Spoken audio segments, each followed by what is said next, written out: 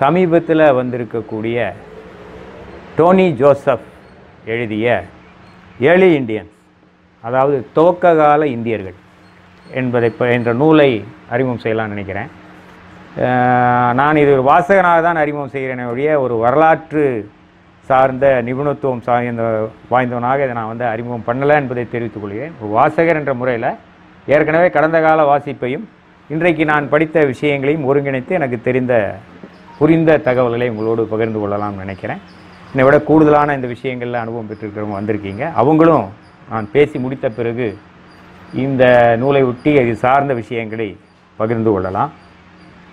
இந்த நூல் வந்து டோனி ஜோசப் என்பவர் யாருன்னு பார்த்தீங்கன்னா அவர் பிஸ்னஸ் வேர்ல்ட் என்ற பத்திரிகையினுடைய ஆசிரியராக இருந்தவர். தொடர்ந்து பல பத்திரிகைகளில் அவர் வந்து பத்தி எழுத்தாளராக இருக்கிறார்.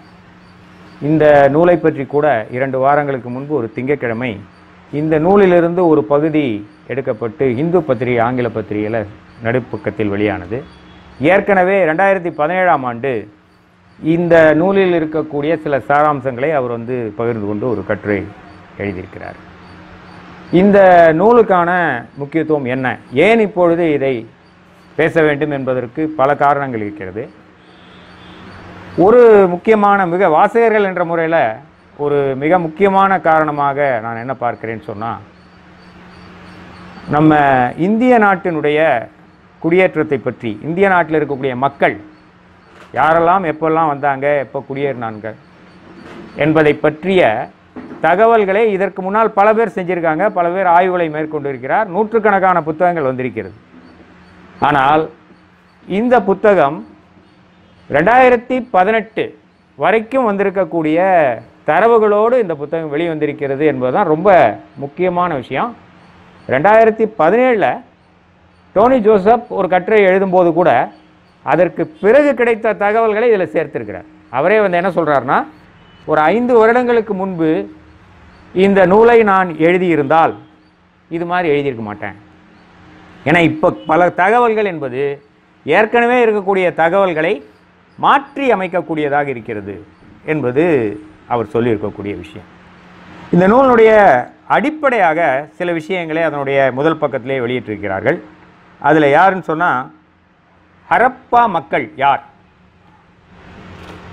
முதல் கேள்வி. அடுத்த கேள்வி ஆரியர்கள் இந்தியாவிற்கு குடியேறியவர்களா?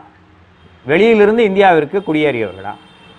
மூன்றாவது கேள்வி சாதி அமைப்பு முறை எப்போது துவங்கியது?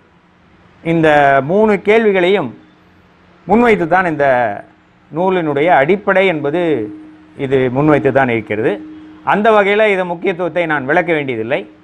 இன்றைக்கு இருக்கக்கூடிய பல்வேறு சமூக அரசியல் பின்புலத்தில் இந்த நூல் வந்து மிக முக்கியமான ஒன்றாக இருப்பதாக கருதுகிறேன். ஏன்னா எதிர்காலத்தில் வரக்கூடிய பல நூல்களுக்கும் இந்த நூல்களிலிருந்து குறிப்புகள் எடுப்பதற்கான வாய்ப்புகள் இருக்கக்கூடிய ஒரு நூலாக இந்த நூல் இருப்பதை நான் பார்க்கிறேன். அப்போ இந்த நூலில் நம்முடைய மூதாதையர்கள் நம்முடையன்னு சொன்னால் யாரும் தனியா இல்லை நம்ம எல்லாருடைய மூதாதையர்கள் எங்கிருந்து வந்தார்கள் எப்படி வந்தார்கள் என்பதைத்தான் இந்த நூல் வந்து டோனி ஜோசப் வந்து இதை ஒரு விரிவான ஆய்வாக நமக்கு முன்னால் எடுத்து வைக்கிறார். இந்த நூலை பொறுத்தவரையில் வரலாற்றுக்கு முற்பட்ட காலத்தை பற்றி சொல்கிறது. ஆங்கிலத்தில் சொல்லும்போது ப்ரீ ஹிஸ்ட்ரி அது வரலாற்றுக்கு முற்பட்ட காலம் என்று எதை குறிக்கிறது என்று பொதுவாக தெரிந்து கொள்ளலாம்னா எழுதப்பட்ட வரலாற்று காலத்திற்கு முன்னால்.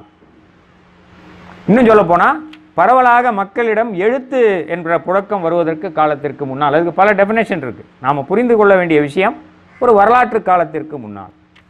அப்போ வரலாற்று காலத்திற்கு முன்னால் நம்முடைய முன்னோர்கள் என்று நான் சொன்னேன். நம்முடைய முன்னோர்கள் என்று நான் சொன்னது இந்தியர்களே அல்ல. இந்த புக்கு வந்து ஏலி இந்தியன்ஸ் என்று ஆரம்பகால இந்தியர்களை பற்றி சொன்னாலும் நான் சொன்ன முன்னோர்கள் இந்தியர்கள் அல்ல. அப்போ நம்ம முன்னோர்கள் யார் என்பது மிக சமீப காலத்தில் கடந்த ஒரு பத்தாண்டுகளில் அல்லது பதினைந்து ஆண்டுகளில் மிகவும் இறுதி செய்யப்பட்ட ஒன்றாக இப்போ வந்திருக்கு. அது என்னன்னு சொன்னால் நம்முடைய முன்னோர்கள் அனைவருமே ஆப்பிரிக்க கண்டத்தில் தோன்றியவர்கள். அதில் இப்போ வந்து அறிவியலாளர்கள் மத்தியில் எந்த கருத்து வேறுபாடும் இல்லை. கடைசியாக சீன நாட்டில் கூட அந்த முன்னோர்கள் அவர்களுடைய முன்னோர்கள் அவர்கள் நாட்டிலேயே தோன்றினார்கள் என்று ரொம்ப நாள் வாதம் செய்து கொண்டிருந்தார்கள். இப்பொழுது அந்த வாதமெல்லாம் அடிபட்டு போய்விட்டது. நிச்சயமாக தீர்க்கமாக நம்முடைய முன்னோர்கள் ஆப்பிரிக்காவில் தான் துவங்கினார்கள். சில ஆண்டுகளுக்கு முன்பு இன்னும் சொல்லப்போனால் ரெண்டாயிரத்தி பதினாறு காலங்களிலேயே கூட ஹோமோசேப்பியன்ஸ் என்று வகைப்படுத்தப்பட்ட விலங்கின வகையை சேர்ந்த நாம் எப்போ தோன்றினோம் அப்படின்னு ஒரு கணக்கு எப்போ வச்சாங்கன்னு சொன்னால் அது வந்து ரெண்டு லட்சம் வருடங்களுக்கு முன்பு ஆப்பிரிக்காவில் தோன்றினார்கள் என்ற ஒரு கணக்கு இருந்தது. ஆனால் இந்த நூல் எழுதும்போது மொராக்கோ நாட்டில் கண்டெடுக்கப்பட்ட ஒரு மண்டையோடு வாயிலாக நம்முடைய முன்னோர்கள் மூணு லட்சம் வருடங்களுக்கு முன்பாகவே ஆப்பிரிக்காவில் தோன்றியிருக்கிறார்கள் என்று இப்போது ஆதாரங்கள் நமக்கு கிடைத்திருக்கிறது. அப்போ மூணு லட்சம் வருடங்கள் ஆப்பிரிக்கா என்று சொன்னால் நம்ம அதை ஒரு நாடாக கற்பனை செய்து கொள்ளக்கூடாது. ஆப்பிரிக்கா என்பது ஆசிய கண்டத்தை போல் அதுவும் ஒரு பெரிய கண்டம். அதில் பல நாடுகள் இருக்குது அதனால் ஆப்பிரிக்காவை தயவுசெய்து ஒரு நாடாக ஏன்னா ஆப்பிரிக்கா ஆப்பிரிக்கா நம்ம ரிப்பீட்டடாக சொல்லும்பொழுது அது ஒரு நாடு என்று புரிந்து கொள்ள நம்ம அறியாமல் நமக்கு தெரியும் கண்டம்னு தெரியும். இருந்தாலும் ஒரு நாடாக புரிந்து கொள்ள வாய்ப்பு இருக்கிறது. அப்படி அல்ல. அதனுடைய வடக்கு பகுதி ஒரு இடத்துல இருக்குது தென்பகுதி வடக்கு பகுதியும் தென்பகுதியும் பார்த்தோன்னாலே சொன்னால் அது அமெரிக்காவுக்கு இணையாக ஒரு நீண்ட வடக்கிலும் தெற்கிலும் ஒரு நீண்ட பகுதியாக இன்னும் சொல்ல போனால் ஷேப்பில் பார்த்தீங்கன்னா நம்ம இந்தியாவையே பல மடங்கு பெருசாக்கின மாதிரியான ஒரு தோற்றத்தோட ஆப்பிரிக்கா கண்டம் இருக்கிறது. அப்போ மொராக்கோ என்பது பார்த்தீங்கன்னா அதனுடைய வடபகுதியில் இருக்கக்கூடிய விஷயம். மேலும் பல இடங்களில் கிடைச்சிருக்கு. ஒரு லட்சத்தி தொண்ணூத்தைந்தாயிரம் வருடங்களுக்கு முன்பு கிடைத்திருக்கிறது. இன்னும் பல்வேறு காலங்களில் கிடைத்திருக்கிறது. இப்போ நம் முன்னோர்கள் என்று சொல்லும்போது ஹோமோசேப்பியன்ஸுடன் நாம் நிறுத்திக் கொள்ளலாமா என்று பார்த்தால் ஹோமோசேப்பியன்ஸ் வேறு ஏதாவது ஒரு மனித இனத்திலிருந்து தான் பரிணமித்து வந்திருக்க வேண்டும். அது பல வகைப்படுத்துகிறாங்க நாம் சுருக்கமாக புரிந்து கொள்வதற்கு ஹோமோ எரக்டஸ் என்று எடுத்துக்கொள்ளலாம் அதாவது நிமிர்ந்து நேராக நின்ற ஒரு வகையான மனித இனம் என்று வகைப்படுத்தப்பட்டவர்கள் இவர்களுடைய இவர்களை வந்து நாம் எப்படி வகைப்படுத்தலாம் சொன்னால் இவர்கள் காலத்திலிருந்தே பழம் கற்காலம் துவங்குகிறது. பழைய கற்காலம் துவங்குகிறது. அந்த பழைய கற்காலம் என்பது என்ன? கல் இருக்கு. அந்த கல்லை வந்து அவங்க ஒரு பெரிய கல் கிடைத்தா அதை செதுக்குவாங்க. செதுக்கி ஒரு மிகப்பெரிய கல் மூலமாக அவர்கள் ஒரு ஆயுதத்தை உருவாக்குவார்கள். அதாவது நல்லா கவனிங்க மிகப்பெரிய கல்லை செதுக்கி ஒரு ஆயுதத்தை உருவாக்குவார்கள். இதுக்கு பேர் ஆங்கிலத்தில் அச்சூலியன் டூல்ஸ் என்று சொல்வார். அச்சூலியன் அவர் அச்சூலியன் டூல்ஸ் என்று சொல்வார். இது உலகத்தின் பல பகுதிகளில் கிடைக்குது. அப்போ உலகத்தின் பல பகுதிகளில் இது கிடைக்கும்போது இதை வைத்து இதை செய்தவர்கள் அதனுடைய காலம் இதையெல்லாம் வைத்து இதையெல்லாம் வைத்து நாம் வந்து அது பழைய கற்காலம் என்று நிர்ணயிக்கிறாங்க. உதாரணமாக நம்ம சென்னைக்கு பக்கத்தில் ஒரு அறுபத்தேழு கிலோமீட்டர் தள்ளி அத்திரம்பாக்கம் என்ற ஒரு இடம் இருக்கிறது. அத்திரம்பாக்கம் என்ற ஒரு இடம் இருக்கிறது. அந்த அத்திரம்பாக்கத்தில் இந்த பழைய கற்கால கருவிகள் கிடைச்சிருக்கு. அதே மாதிரி கர்நாடகாவில் கிடைச்சிருக்கிறது வேறு சில பகுதிகளில் மத்திய பிரதேசத்தில் கிடைக்கிறது. இதெல்லாம் வெவ்வேறு காலகட்டத்தைச் சேர்ந்த கற்கருவிகள். மத்திய பிரதேசத்தில் கூட பிம்பேட்கா என்ற குகையில் சில ஆயுதங்கள் இந்த மாதிரியானது கிடைச்சிருக்கு. அது லட்சக்கணக்கான வருடங்கள் சொல்கிறாங்க அதற்கு பிறகு பார்த்தீங்கன்னா ஒரு மத்திய கால கற்காலம் என்று ஒன்று நினைக்கலாங்க அந்த கற்காலத்தில் என்ன மாதிரி ஆயுதங்கள் செய்தாங்க? என்ன மாதிரி தொழில்நுட்பம் கற்கருவிகளில் நிலவியது என்று பார்த்தீங்கன்னா பெரிய கல்லை செதுக்குவாங்க. ஒரு இவ்வளோ பெரிய தேங்காய் சைஸ் இருக்குன்னு வைங்க ஒரு கல் அந்த கல்லை செதுக்குவாங்க. அந்த கல்லை செதுக்கும் போது ஒரு ஐந்து அங்குலம் ஆறு அங்குலம் அளவுள்ள கல் செதில்கள் கிடைக்கும். இல்லையா? அதை கூறாக தீட்டி அதை ஆயுதமாக பயன்படுத்தியிருக்கிறாங்க இது இரண்டாவது வகை. இந்த இரண்டு வகையை சேர்ந்த கல் ஆயுதங்களையும் ஹோமோசேப்பியன்ஸும் செய்திருக்கிறார்கள்.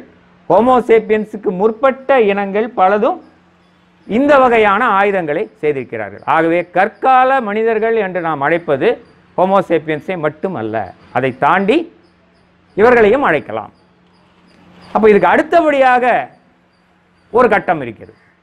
அது ஆங்கிலத்தில் மைக்ரோலித் அந்த காலகட்டத்தில் ஒரு சிறப்பு என்னவென்று சொன்னால் சில சென்டிமீட்டர் அளவிலே இருக்கக்கூடிய அளவில் அந்த கற்கள் கூறாக்கப்பட்டு செதுக்கப்பட்டு பிளேடு மாதிரி பயன்படுத்தப்படும். அதை என்ன பண்ணுவாங்கன்னா அம்பினுடைய முனையில் வைப்பாங்க.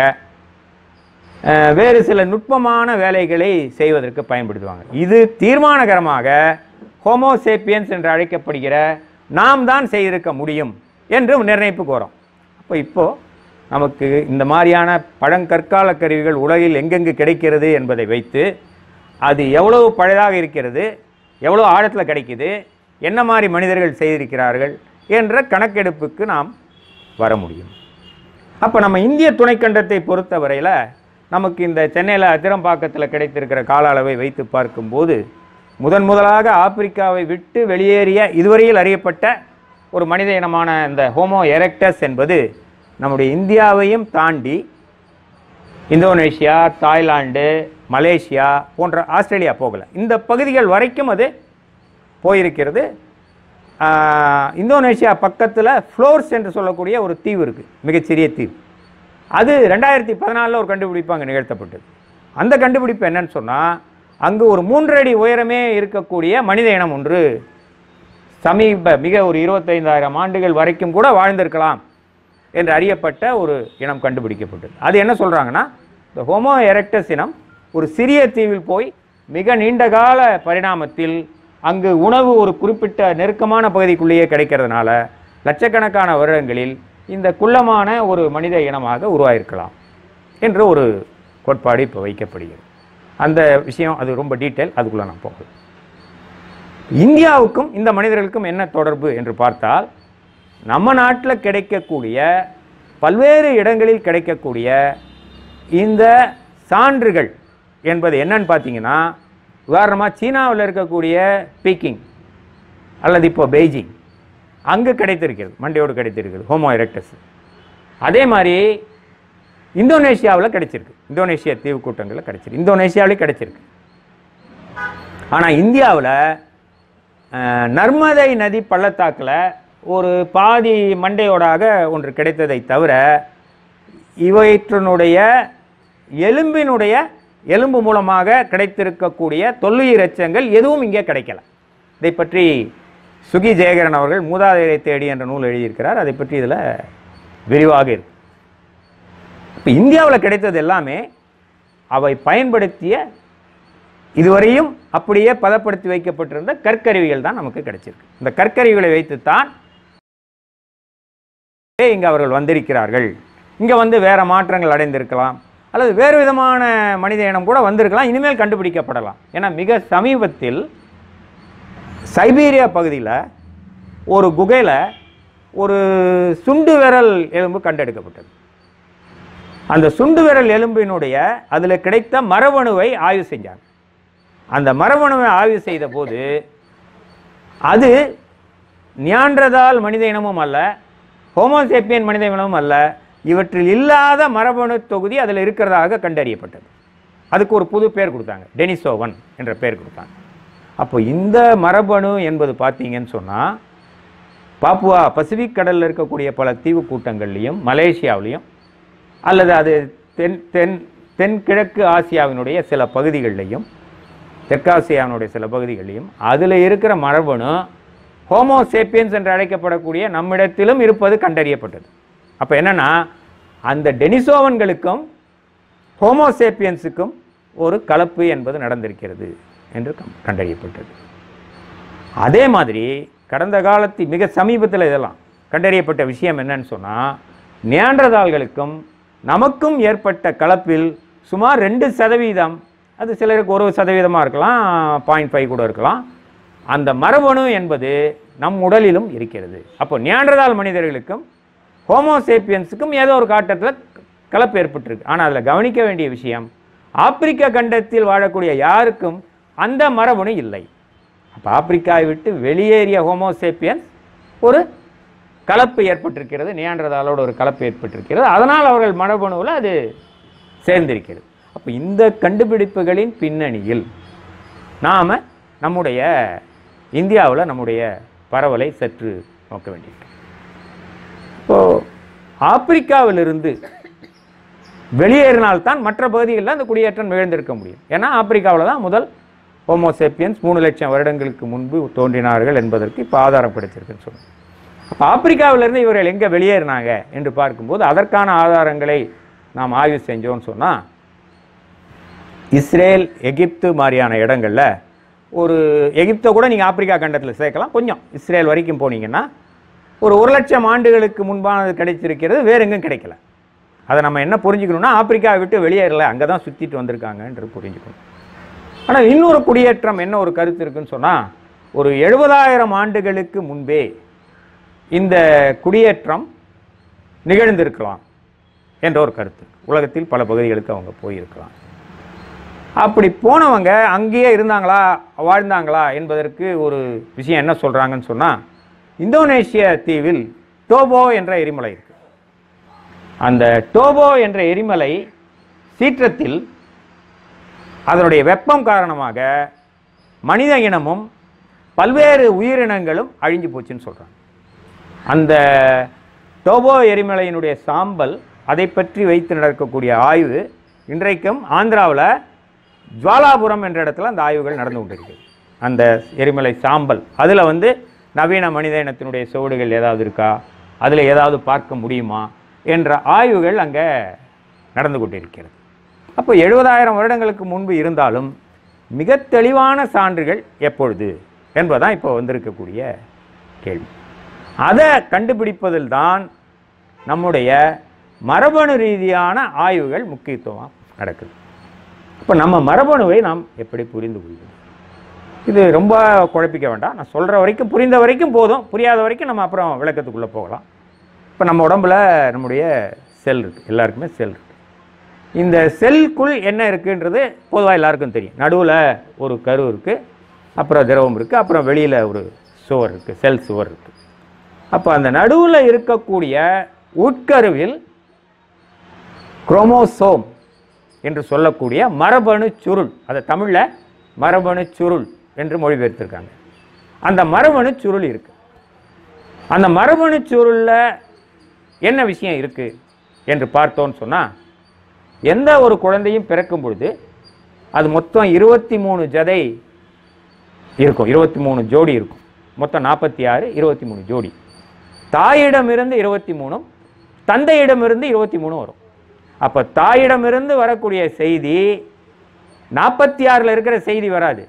இருபத்தி மூணில் இருக்கிற செய்திகள் மட்டும் வரும். தந்தையிடம் வரக்கூடிய விஷயம் இருபத்தி மூணு வரும். இரு இன்னொரு இருபத்தி மூணு வராது. இது ரெண்டும் சேர்ந்து ஒரு புதிய குழந்தை உருவாகிறது. இப்படி தான் கரு உருவாகக்கூடியது அப்போ இருபத்தி மூணாவது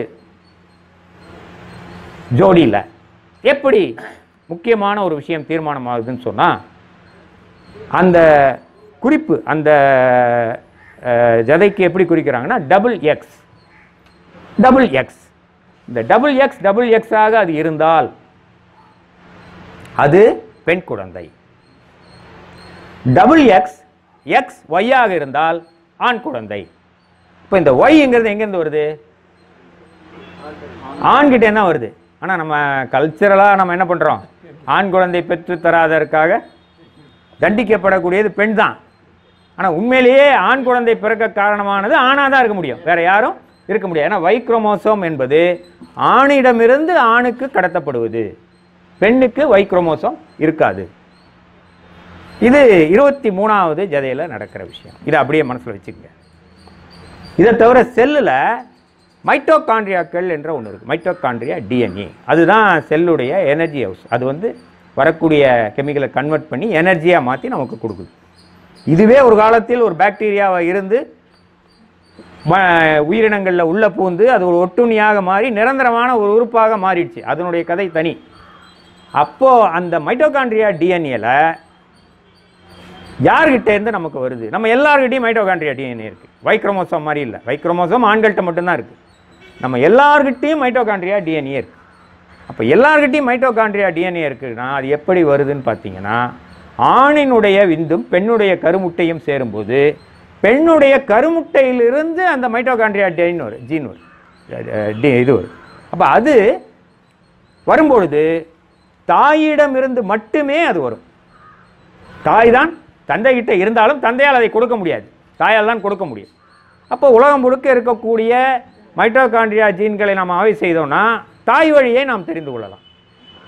வைக்ரோமோசோமை ஆய்வு செய்தால் தந்தை வழியை தெரிந்து கொள்ளலாம். இது ரெண்டாவது அம்சம். மூணாவது அம்சம். இப்போ இந்த மரபணுக்கள் அல்லது இந்த குரோமோசோமில் இருக்கக்கூடிய டிஎன்ஏக்களில் ஒரு குறிப்பிட்ட கால இடைவெளியில் இந்த வைக்ரமோசோம்லேயும் மியூட்டேஷன் என்று சொல்லக்கூடிய ஒரு மாறுதல் நிகழும். சராசரியா. அது கணக்கிடுறாங்க. உதாரணமாக ஒருத்தர் டைப் பண்ணுறாருன்னு வைங்க. ரெண்டு நாள் உட்காந்து டைப் பண்ணிக்கிட்டு இருக்காருன்னு வைங்க. அவர் ரெண்டு நாள் உட்காந்து டைப் பண்ணும்போது சராசரியாக ஒரு பக்கத்துக்கு இல்லை ஐந்து பக்கத்துக்கு நல்ல டைப்பிஸ்டாக இருந்தால் கூட ஒரு எரர் இருக்குன்னு கண்டுபிடிப்பாங்க. மொத்தமாக கூட்டி ஒரு சராசரி நம்மளால் கொண்டு வர முடியும். அது மாதிரி சராசரியாக இந்த வைக்ரோமோசோம் எத்தனை காலத்துக்கு மியூட்டேஷன் நடக்கும்னு ஒரு கணக்கு இருக்கு. மைட்டோகாண்ட்ரியாக்கும் அதுலேயும் மியூட்டேஷன் நிகழும். மாறுதல். ஒரு சின்ன மாற்றம் நடக்கும். அந்த சின்ன மாற்றம் என்பது நிலைத்திருக்கும். எத்தனை காலத்துக்குள்ளே நடக்கும்னு அதுக்கு ஒரு கணக்கு இருக்குது எனக்கு சரியான க கணக்கு தெரில உதாரணமாக மைட்டோகாண்ட்ரியாவுக்கு பத்தாயிரம் வருஷம்னா வைக்ரோமோசோமுக்கு ஆயிரம்னு வச்சுங்க. இது கரெக்ட் சரியான கணக்கு இல்லை. புரிஞ்சுக்கிறதுக்காக சொல்கிறேன் அப்போ உலகம் முழுக்க இருக்கக்கூடிய இந்த வைக்ரோமோசோமையும் மைட்டோகாண்ட்ரியாவிலையும் ஏற்பட்டிருக்கக்கூடிய மாற்றங்களை நுணுக்கமாக நம்மால் ஆராய முடியும். அப்போ நுணுக்கமாக ஆராய்ந்து அதுக்கு வெவ்வேறு நம்பர் கொடுத்துட்றாங்க. இப்போ ஆப்பிரிக்காவில் இருக்கக்கூடியது உதாரணமாக எல் என்ற வரிசைப்படுத்தி அதில் மைட்டோகாண்ட்ரியாவினுடைய ஒரு எண்ணை கொடுத்துருவாங்க. வைக்ரோமோசோமுடைய எண்ணை கொடுத்துருவாங்க. எம் என்று வரிசைப்படுத்தி அது எம் வரும் என் வரும் ஆர் வரும் இப்படி ஒரு வரிசை போகும். அதை வைத்து மைட்டோகாண்ட்ரியாவுக்கு நம்பர் கொடுப்பாங்க. விஷயம் என்னன்னு சொன்னால் ஆப்பிரிக்காவில் மனிதர்கள் வெளியேறி ஒரு அறுபத்தைந்தாயிரம் ஆண்டுகள் ஆகுதுன்னு சொல்கிறாங்கன்னு வச்சுங்க. ரெண்டு லட்சத்தி முப்பத்தைந்தாயிரம் வருடங்கள் வரைக்கும் ஆப்பிரிக்காவை விட்டு நம்முடைய நவீன மனிதர்கள் வெளியேறல. அதான கணக்கு. அப்போ இந்த ரெண்டு லட்சத்தி முப்பத்தஞ்சாயிரம் வருடங்களில் ஆப்பிரிக்காவுக்குள்ளேயே மைட்டோகாண்ட்ரியாவிலையும் ஒய் டி ஒய் குரோமோசோம் ஒய்யிலையும் வந்து உங்களுக்கு மாற்றங்கள் நிறைய நிகழ்ந்திருக்கும். அது வெவ்வேறு எண்களாக பரிணமித்திருக்கும். இல்லையா? வெவ்வேறு எண்களாக பரிணமித்திருக்கும். அப்போது இது பார்த்தீங்கன்னா அந்த கண்டத்துக்குள்ளே இருக்கும். அந்த கண்டத்திலிருந்து வெளியேறிய ஒரு குழு தன்னிடத்தில் ஒரு எண்ணை கொண்டு போகும். அது வயலையும் இருக்கும் மைட்டோகாண்ட்ரியாலையும் இருக்கும். இந்த எண்கள் புதிய ஒரு மியூட்டேஷனுக்கு உள்ளாகும் போது அது ஆப்பிரிக்க எண்ணெய் ஒத்து இருக்காது இல்லையா? ஆப்பிரிக்கா விட்டு வெளியேற வந்த பிறகு நடக்கிற மியூட்டேஷன் ஆப்பிரிக்காவில் இருக்குமா? இருக்காது. இங்கே தான் இருக்கும். அப்போ இதுக்கு புது எண்கள் கொடுப்பாங்க. அப்போ இந்த புது எண்களை வைத்து இது ஆப்பிரிக்காவில் இல்லை இங்கே தான் தோன்றியது என்று கண்டுபிடிப்பாங்க. இப்போ இது வெவ்வேறு இடங்களுக்கு போகும்போது ஒன்று சைபீரியா போகுதுன்னு வைங்க. சைபீரியாவில் மட்டுமே அந்த மாற்றம் இருக்கும். இன்னொன்று ஆஸ்திரேலியா போகுதுன்னு வைங்க. ஆஸ்திரேலியா வரைக்கும் போகிற அந்த எண் வெவ்வேறு மாற்றங்களை வெவ்வேறு கட்டத்தில் சந்தித்து நகர்ந்துக்கிட்டே இருக்கும். இப்படி நூற்றுக்கணக்கான எண்கள் கொடுக்கப்பட்டிருக்கிறது. அந்த எண்களின் டெக்னிக்கலாக நான் போல அந்த எண்களின் அடிப்படையில் மனிதர்கள் வெவ்வேறு காலகட்டங்களில் எங்கெங்கு குடியேறினார்கள் என்று தீர்மானிக்க முடியும். இதோடு சேர்த்து அகழ்வாராய்ச்சியில் கிடைக்கக்கூடிய சான்றுகள் இருக்கும். உதாரணமாக கற்கருவிகள் பின்னால் பிற்காலத்தில் வந்து கட்டடங்கள் என்னென்ன கிடைக்குதோ சுவர் இதில் எழுது குகை ஓவியங்கள் இப்படி வெவ்வேறு காலகட்டத்தை சேர்ந்த சான்றுகளோடு இந்த சான்று ஒத்து போகணும். இல்லையா? நீங்கள் பூமிக்கடியில் ஒரு ஆயிரம் அடி தோண்டி ஒரு ஏகே ஃபார்ட்டி செவன் எடுத்தீங்கன்னு வைங்க. வரலாறே மாறிடும்ல. எடுக்க முடியுமா? முடியவே முடியாது. முடியாது. அந்த ஆழத்துக்கு யாரும் போய் எந்த முட்டாலும் போய் அதை புதைக்க போகிறதில்ல அது போச்சுன்னா அதனுடைய காலம் மாறும். அந்த காலகட்டத்திலே போய்ஞ்சு கிடக்குப்பா என்று சொல்ல முடியும். அப்படியெல்லாம் இல்லை. உலகத்தில் நமக்கு கிடைக்கக்கூடிய வரலாற்று சான்றுகளும் இந்த மரபணு ரீதியான தொகுதி சான்றுகளும் ஒத்து தான் அந்த காலத்தை விஞ்ஞானிகள் தெளிவாக வரையறுக்க முடியும். மூன்றாவது விஷயம் நம்முடைய ஹியூமன் ஜெனோம் ப்ராஜெக்டில் நம்முடைய உடல் முழுக்க இருக்கக்கூடிய ஜீனோம்கள் தொகுத்து தொகுக்கப்பட்டிருக்கு. அந்த ஜீனோம்களுடைய விஷயமும் ஒத்து போகணும் இதை தவிர வேறு பல சான்றுகள் இருக்குது மொழி இருக்கு. ஒரு மொழி என்ன மொழி பேசுகிறோம் இதனுடைய மூலமொழி என்ன? அந்த மூலமொழி எங்கிருந்து வந்தது? இந்த மூலமொழி இந்த இடத்தில் பேசி இருக்கும்போது இந்த மனிதர்கள் இருந்தால் அது வரலாற்று நான் ஏற்கனவே குறிப்பிட்ட வரலாற்று மரபணு சான்றுகளோடு ஒத்துப்போகுதா? என்று பொருந்தி இருந்தால் தான் அதை ஏற்றுக்கொள்ள முடியும். பொருந்தி இல்லைன்னா ஏற்றுக்கொள்ள முடியாது. அப்போ இவ்வளவு விஷயமும் இன்றைக்கு ரெண்டாயிரத்தி பதினெட்டில் கிடைத்ததால் தான் டோனி ஜோசப் இந்த சிறப்பான புத்தகத்தை எழுதியிருக்க முடிந்தது. டார்வின் எவ்வளோ மிகச்சிறந்த மேதையாக இருந்தாலும் அவர் காலத்தில் அவரால் இந்த மாதிரி ஒரு புத்தகத்தை எழுதியிருக்க முடியாது. மேதமை வேறு தகவல்களோடு நாம் சில விஷயங்களை படைப்பது வேறு. அந்த அடிப்படையில் டோனி ஜோசப் இந்த புத்தகத்தில் மிக முக்கியமாக இந்த விஷயங்களை அவர் எடுத்துக்கிட்டு இருக்காரு. அப்போ இந்த இந்திய குடியேற்றத்தை பற்றி அவர் என்ன சொல்கிறார் என்று பார்த்தோன்னா ஒரு அறுபத்தி அஞ்சாயிரம் வருடங்களுக்கு முன்பு இந்தியாவில் இந்த குடியேற்றம் நிகழ்ந்திருக்கணும் என்ற ஒரு கணக்குக்கு அவர் வரார். இப்போ இந்த அறுபத்தைந்தாயிரம் வருடம் என்பது என்ன கணக்கு என்று நான் பார்த்தோன்னு சொன்னால் இந்த பூமி வந்து தொடர்ந்து பார்த்தீங்கன்னா ஒரு பனியுகம் இன்னொரு பனியுகம் இந்த ரெண்டு பனியுகத்திற்கும் நடுவில் ஒரு வெப்ப காலம். மித வெப்பமா அல்லது வெப்பமா?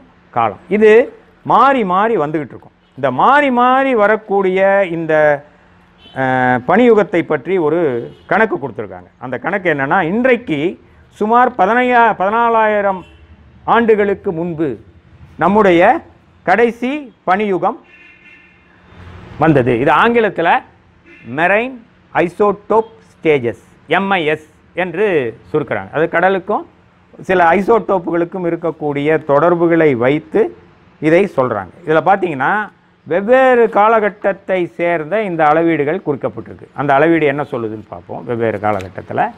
அந்த வெவ்வேறு காலகட்டத்தில் பார்த்தீங்கன்னா கடைசி எம்ஐஎஸ் அது எப்போ ஏற்பட்டிருக்குன்னா பதினாலாயிரம் வருடங்களுக்கு முன்பு ஏற்பட்டிருக்கு. பூமி தன்னுடைய பனிக்காலத்திலிருந்து வெப்ப காலத்தை நோக்கி நகர்ற காலம் இன்றைக்கு ஒரு பதினாலாயிரம் ஆண்டுகளுக்கு முன்பு. அந்த பதினாலாயிரத்திலிருந்து இருபத்தி ஒன்பதாயிரம் ஆண்டுகள் வரைக்கும் பார்த்தீங்கன்னு சொன்னால் மீண்டும் ஒரு பனிக்காலம்.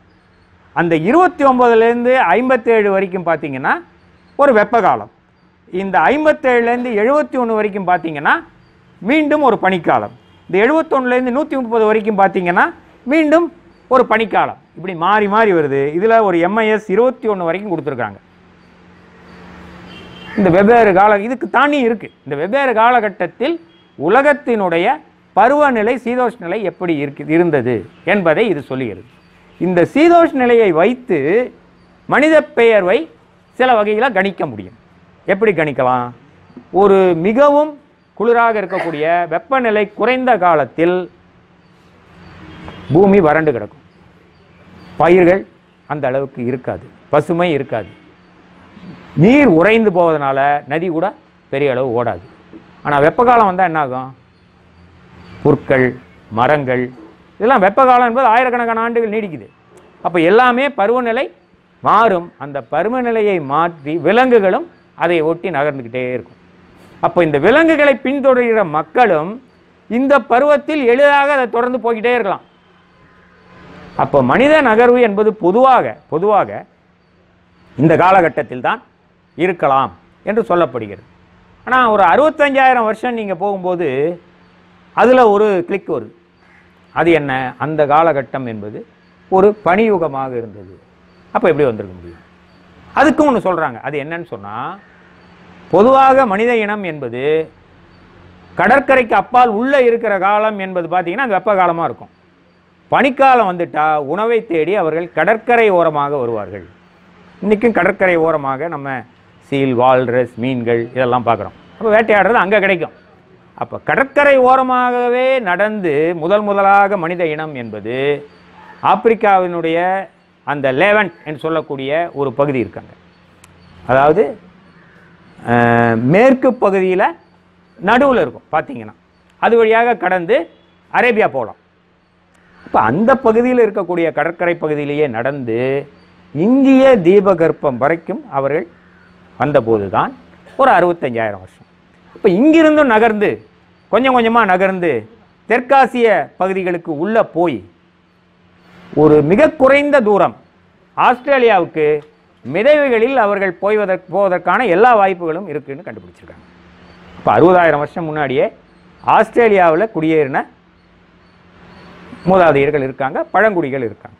இப்போ இவர்களுடைய மரபணு இந்திய நாட்டில் அந்தமான் நிக்கோபார் தீவில் குடியேறினவர்களுடைய மரபணு நம்முடைய தென் தமிழ்நாட்டில் இருக்கக்கூடிய மரபணு இதையெல்லாம் கூட ஆய்வு பண்ணியிருக்காங்க. இது எல்லாமே ஆரம்ப கால அந்த ஆப்பிரிக்காவிலிருந்து வந்ததுக்கான பல சான்றுகளை நமக்கு அளிக்குது. அப்போ இந்த முதல் குடியேற்றம் என்பது இன்றைக்கு ஒரு சுமாராக அறுபது அறுபத்தைந்தாயிரம் ஆண்டுகளுக்கு முன்பு தான் இந்திய துணைக்கண்டத்தில் மனித இனம் குடியேறியது என்பது நிச்சயமாக சொல்ல முடியும். அதற்கு முன்னால் ஹோமோசேப்பியன்ஸ் இங்கே இருந்தார்களா என்றால் நிச்சயமாக இல்லை. வேறு வகையான நான் ஏற்கனவே சொன்ன மாதிரி வேறு வகையான இனங்கள் இருந்திருக்கக்கூடும். மனிதம் ஹோமோசேப்பியன்ஸ் இல்லை. அப்போ இவர்கள் இங்கே தங்குறாங்க. இங்கே வந்து அவங்க வந்த பிறகு உள்ள நகரும்போது ஏற்கனவே இருக்கக்கூடிய வேறு விதமான மனித இனங்களுக்கும் இவர்களுக்கும் ஒரு முரண் ஏற்பட்டிருக்கலாம். அல்லது அவர்கள் அழிக்கப்பட்டிருக்கலாம். அல்லது அவர்கள் காலப்போக்கில் மறைந்திருக்கலாம். அப்போ இவங்க மட்டுமே மிஞ்சினாங்க. இப்போ இவர்களைத்தான் நாம் ஃபஸ்ட் இந்தியன்ஸ் முதல் இந்தியர்கள். என்று இவர்களைத்தான் அழைக்கணும் இதுக்கு பிறகு சின்ன சின்ன குடியேற்றங்கள் நிகழ்ந்திருக்கலாம். அதுக்கு பிறகு நடந்த மிகப்பெரிய குடியேற்றம் என்பது நமக்கு தெரிய வருகிறது. எப்போ வருதுன்னு சொன்னால் சிந்து சமவெளி நாகரீகம் என்று அறியப்படக்கூடிய காலத்தில் ஒரு மிகப்பெரிய நகர நாகரீகம் கண்டெடுக்கப்படுது இந்தியாவில். நகர நாகரீகம் நல்லா கவனிங்க. அந்த நகர நாகரிகம் தான் ஒரு மிகப்பெரிய குடியேற்றம் நிகழ்ந்ததற்கான ஆதாரங்களை நமக்கு அளிக்குது. அதை வந்து இந்த ஆசிரியர் ஹரப்பன் நாகரிகம் சொல்கிறார் ஏன் ஹரப்பன் நாகரிகம் சொல்கிறாரு அவர் என்ன சொல்கிறாருன்னா சிந்து சமவெளி பாயக்கூடிய ஒரு பகுதி என்பது ஒரு ஓரத்தில் இருக்கக்கூடிய ஒரு சிறிய பகுதி. ஹரப்பா என்பது இந்த மோஞ்சதாரோ ஹரப்பாவில் பார்த்தீங்கன்னா மேலே இருக்கும். அது அங்கே உத்தரப்பிரதேசத்துலேருந்து தொடங்கி அப்படியே வளைஞ்சு வந்து குஜராத் வந்து அப்போ பாகிஸ்தானுடைய முழு பகுதியும் ஏற்றுக்கொள்ளக்கூடிய சுமார் ஒரு மில்லியன் சதுர கிலோமீட்டர் பரப்பளவு கொண்ட ஒரு நாகரிகம். அதனுடைய அளவு எப்படின்னு பார்த்துங்க. எகிப்திய நாகரிகம் மெசபுடைய நாகரிகத்தையும் நீங்கள் சேர்த்து வச்சா கூட அதை விட இது பெருசு. இந்தியாவினுடைய நிலப்பரப்பில் மூன்றில் ஒரு மடங்கு. ஒரு இதனுடைய காலம் வந்து இன்றைக்கு எழுநூறு வருடங்கள் நீடித்தது. அந்த எழுநூறு வருடங்கள் என்பது என்னன்னு பார்த்தீங்கன்னா இன்றைக்கு ரெண்டாயிரத்தி அறநூறு பிசிஇ இந்த பிசிஇங்கிறத இப்போ மா இப்போ ஏன் அப்படி கொண்டாந்துருக்காங்கன்னா முன்னாடி பிசின்னு சொல்லுவோம். பிஃபோர் கிரைஸ்ட் அதை இப்போ மாற்றிட்டாங்க பிஃபோர் காமன் இரா அதே மாதிரி ஏடிங்கிறத இப்போது காமன் இராவாக மாற்றிட்டாங்க சிஇ என்று. இதை தமிழில் இதனுடைய மொழிபெயர்ப்பை தேடினேன் தமிழில் இது என்னன்னு சொ என்ன போட்டிருக்காங்கன்னா ஊழிக்கு முன். ஊழிங்கிறதுக்கு பல வார்த்தை இருக்குது தமிழில். காலம் இருக்குது ஒரு பெரும் அழிவை கூடையாக இருக்குது நீங்கள் கேட்டிருப்பீங்க ஊழி தாண்டவம் அழிவு காலத்தில் ஆடக்கூடிய தாண்டவம். ஆனால் ஊழிங்கிறது காலம்னு இருக்குது அப்போ ஊழிக்கு முன் ஊ மு நம்ம பிரிச்சுக்கணும்னா உ பி ஊழிக்கு பின். அப்படி பிரிச்சுக்கலாம். இப்போ கிமு கிபி கொஞ்சம் கொஞ்சமாக போயிட்டுருக்கு. ஏன்னா அது ஒரு ஒரு செக்யூலராக இல்லை மதச்சார்போடு இருக்குங்கிறதுனால இப்படி ஒரு கால அளவை நிர்ணயிச்சிருக்காங்க. நான் வந்து கொஞ்சம் அந்த ஊழிக்கு முன் பின் நினை குறிப்பிடலாம்னு நினைக்கிறேன். அப்போது இந்த ஊழி காலத்தில் ரெண்டாயிரத்தி அறநூறுலேருந்து ஆயிரத்தி தொள்ளாயிரம் வரைக்கும் சிந்து சமவெளிய நாகரிகம் நீடிக்குது. நம்மளுடைய புரிதலில் நாம் புரிஞ்சுக்கணுன்னா இன்றைக்கு நாலாயிரத்தி அறநூறு ஆண்டுகளுக்கு முன்பிலிருந்து மூவாயிரத்தி தொள்ளாயிரம் ஆண்டுகள் வரையில் இந்த ஹரப்பன் நாகரிகம் நீடிச்சிருக்கு. ஏன் ஹரப்பான்னு சொல்கிறோன்னா அது எல்லாவற்றையும் உள்ளடக்கியதாக இருக்கிறது. வெறும் சிந்து மட்டும் கிடையாது. ஹ- கக்கர் ஹாக்ரான்னு ஒரு நதி ஓடி இருக்கு அந்த நதி பாயக்கூடிய பகுதி. அதைத்தான் இன்றைக்கு வலதுசாரிகள் சரஸ்வதி நாகரிகம் சொல்கிறாங்க அந்த சரஸ்வதி நாகரிகம் என்ன? சரஸ்வதி நதி இருந்ததா? ஓடியதா? என்ற கேள்விகளை நாம் பின்னாடி பார்க்கலாம். அப்போ இந்த சிந்து சமவெளியில் குடியேறியவர்கள் யார் அப்படின்னு பார்த்தோன்னு சொன்னால் இதில் ஒரு முக்கியமான விஷயம் என்னன்னு சொன்னால் இந்த சிந்து சமவெளிக்கு முன்னால் இன்றைக்கு இருக்கக்கூடிய பாகிஸ்தானுடைய பலுச்சிஸ்தான் பகுதியில் ஒரு சிறு நகரம் என்பது அங்கே ஒரு குடியேற்றம் இருப்பது என்பது அங்கே கண்டுபிடிக்கப்பட்டிருக்கு. அது வந்து பா இன்றைய பாகிஸ்தான் பகுதியில் பலுச்சிஸ்தான் பகுதியில் அந்த நாகரிகம் அங்கே இருந்திருக்கிறது. அந்த நாகரிகத்தில் சிறிய கட்டடங்கள் சில வகையான பாத்திரங்கள் இதெல்லாம் புதைக்கப்பட்டிருக்கிறத அங்கே கண்டெடுத்திருக்காங்க. அது ஒரு முக்கியமான குடியிருப்பாக சொல்கிறாங்க அது வந்து அவங்க ஒரு இன்றைக்கு ஒரு ஏழாயிரம் வருடங்களுக்கு முன்பே அங்கு ரை போன்ற தானியங்களை பயிரிட்டு விவசாயம் செய்திருக்கலாம் என்று கண்டுபிடிக்கப்பட்டிருக்கிறது. ஆடு அங்கே பழக்கப்பட்ட விலங்காக இருந்திருக்கிறதுக்கான ஆதாரம் கிடைத்திருக்கு. அதை வந்து அந்த மக்களை எப்படி பிரிக்கிறாங்கன்னா ஒரு பக்கம் இடம் விட்டு இடம் நகரக்கூடியவர்களாகவும் கொஞ்சம் விவசாயம் செய்யக்கூடியவர்களாகவும் அவர்கள் இருந்திருக்கலாம் என்று கண்டறியப்பட்டிருக்கு. இப்போ இவர்கள் எங்கிருந்து வந்திருக்கலாம் என்று பார்த்தீங்கன்னு சொன்னால் நமக்கு தெரிந்த நாகரிகம் பிற்காலத்தில் தெரிந்த நாகரிகம் மெசபட்டோமியா நாகரிகம் அதனுடைய ஒரு பகுதி தான் சுமேரிய நாகரிகம். இது இன்றைக்கு ஒரு ஆறாயிரம் ஆண்டுகளுக்கு முன்பே நீடித்த ஒரு நகர நாகரிகம். அப்போ அந்த நாகரிகத்துக்கு உள்ளேயே பார்த்தீங்கன்னு சொன்னால் பல நாடுகளை அது உள்ளடக்கியது உதாரணமாக ஈராக் சிரியா கீழே ஈரான் இப்படி பல நாடுகளை உள்ளடக்கியதாக இருந்திருக்கு. இந்த ஈரானில் இருக்கக்கூடிய ஒரு மலைப்பகுதி ஜோக்ரா என்ற மலைப்பகுதி இருக்குது இந்த ஜோக்ரா பகுதியிலிருந்து ஏற்பட்ட ஒரு குடியேற்றத்தை சேர்ந்தவர்கள் தான் இந்த மக்கள் என்று ஒரு நிர்ணயிப்பு நமக்கு கிடைத்திருக்கு. அப்போ இந்த ஜோக்ரா பகுதியிலிருந்து நடந்த குடியேற்றம் கொஞ்சம் கொஞ்சமாக நடந்து நான் சொல்லுகிற இந்த அந்த இடத்துக்கு பேர் மெக்கர்க் தமிழில் நம்ம சொல்லணும் மெகர்க்குன்னு சொல்லலாம். ஆங்கிலத்தில் எம்இஹெச் ஜிஏஆர்ஹெச் இந்த மெகர் பகுதியில் அந்த குடியேற்றம் நிகழ்ந்திருப்பதற்கான ஒரு வாய்ப்பு இருக்குது என்று மரபணு ஆய்வுகளை வைத்து சொல்கிறாங்க ஏன்னா அங்கிருந்து ஒரு பகுதி வேறு பக்கம் நகர்ந்திருக்கிறது. குறிப்பாக ஐரோப்பா பகுதி மேலே நகர்ந்திருக்கிறதுக்கான அனட்டோலியா பகுதிக்கு நகர்ந்திருக்கான ஒரு ஆதாரம் இருக்கிறது. இதுக்கு கூடுதலாக நமக்கு கிடைக்கக்கூடிய ஆதாரம் என்பது அந்த அவர்கள் பேசிய மொழி. அவர்கள் என்ன மொழி பேசினாங்க? அப்படின்னு பார்த்தீங்கன்னா ஏலமைட் என்று சொல்லக்கூடிய ஒரு நாகரிகத்தில் பிற்காலத்தில் ஒரு மொழி சொல்கிறாங்க அந்த ஏலமைட்டில் ரெண்டு பகுதியாக பிரிக்கிறாங்க. Proto Elamite proto Dravidian. Proto திராவிடியன்னா திராவிட மொழியினுடைய முன்னோடி அல்லது திராவிட மொழியினுடைய புராதான மொழி என்று அதை வைத்துக்கொள்ளலாம் இந்த வகையான மொழி பேசக்கூடிய மக்கள் கொஞ்சம் கொஞ்சமாக நகர்ந்து இந்த மெக்கர் வந்து இந்த மெக்கர் வந்து ஒரு குறிப்பிட்ட காலகட்டத்தில் அழிவை சந்திக்கிறது. அதுவும் ஏற்கனவே இந்த ஜோக்ராவிலிருந்து வந்திருக்கக்கூடிய நகரவர்களும் இருக்கலாம். இவங்க சேர்ந்து குடியேறிய பகுதி தான் இன்றைக்கு நாம் சொல்லக்கூடிய அந்த ஹரப்பன் நாகரிகத்தை சேர்ந்த மக்கள். அவர்களாக இருந்திருக்கலாம். என்று அதுக்கான சான்றுகள் நமக்கு மரபணு ரீதியாக கிடைக்குது. அவர்கள் பயன்படுத்திய பல்வேறு பொருள்கள் விவசாயம் பழக்கிய விலங்குகள் இதெல்லாம் நமக்கு அந்த மக்கள் இவங்க தான் அப்படிங்கிறத உணர்த்துறதுக்கு போதுமான ஆதாரங்கள் அதில் இருக்குது இப்போ இந்த மக்கள் ஒரு எழுநூறு வருடம் இங்கே இருந்தபோது இவ்வளவு பெரிய பரப்பளவு இருக்கக்கூடிய நாகரிகம் பல சிறப்பான இயல்புகளை கொண்டிருக்கிறது. ஒன்று என்னன்னா அந்த மாதிரியான சிறப்பான ஒரு உயர்ந்த கட்சத்தை எட்டுவதற்கு அதாவது ஒழுங்காக வடிவமைக்கப்பட்ட வீதிகள் கிரேட் பாத் என்று சொல்லக்கூடிய பொதுவாக குளிக்கக்கூடிய மிகப்பெரிய குளியல் அதை ஒட்டி குளியல் அறைகள் வீட்டில் கழிப்பறைகள். சீனாவில் கிடையாது எகிப்தில் கிடையாது இந்த நாளெலாம் கிடையாது. ஆனால் இங்கே ஒரு ஒரு வீட்டிற்கும் தனியாக கழிப்பறைகள் அந்த கழிப்பறைகளிலிருந்து போகக்கூடிய கழிவுகளும் தண்ணீரும் வெளியேறுவதற்கு வெளியில் சாக்கடை. இது எங்கேயுமே இல்லை. அதே மாதிரி அவர்கள் பயன்படுத்திய பல பொருள்கள் கிடைச்சிருக்கு.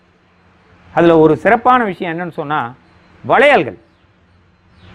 இந்த வளையல்கள் பார்த்தீங்கன்னா எகிப்து நாகரிகத்தில் மிகச்சிலது தான் கிடைச்சிருக்கு. மெசபடோமிய நாகரத்தில் சிலது தான் கிடைச்சிருக்கு. ஆனால் இங்கே நூற்றுக்கணக்கில் ஆயிரக்கணக்கில் கிடைக்குது. ஆனால் இதையெல்லாம் அந்த மக்கள் அப்படியே அணிஞ்சிருக்காங்களான்னு பார்த்தா இல்லை. அது பல இடங்களுக்கு ஏற்றுமதி ஆகிருக்கிறது தெரியுது. அவங்க வந்து விலை உயர்ந்த கற்களால் செய்யப்பட்ட நகைகளை செய்திருக்கிறார்கள். ஆனால் கொஞ்சம் தான் கிடைச்சிருக்கு. ஆனால் இவங்க வடிவமைத்த நகைகள் மெசபடோமியால் கிடைக்குது. அங்கே கிடைக்குது. அப்போது இவர் வியாபாரம் இந்த பகுதிக்கும் அந்த பகுதிக்கும் ஒரு கடல் வழியாகவோ வேறு வழியாகவோ ஒரு வணிகம் நடந்ததற்கான ஆதாரங்கள் நமக்கு வந்து அந்த இதில் கிடைச்சிருக்கு. சிந்து சமவெளி நாகரிகத்தில் கிடைச்சிருக்குது. அதே மாதிரி அவர்கள் பயன்படுத்திய உடையில் சில ஒப்புமைகள் இருக்குது உதாரணமாக சுமேரிய நாகரிகத்தில் உடலின் இடப்பகுதியிலிருந்து ரோப்னு சொல்லுவாங்க. ஒன்று இப்படி வந்து இப்படி வந்து இப்படி வரும். அந்த உடையை அணிஞ்சிருப்பாங்க. இதே மாதிரியான உடையை சிந்து சமவெளி மக்கள் அணிந்திருப்பதற்கான இலச்சினைகள் நமக்கு கிடைத்திருக்கிறது. அதே மாதிரி வேறு சில குறிப்பான சிம்பல்ஸ் அப்படின்னு பார்த்தீங்கன்னா மனிதர்கள் விலங்குகளோடு சேர்ந்து இருக்கிற விஷயம்.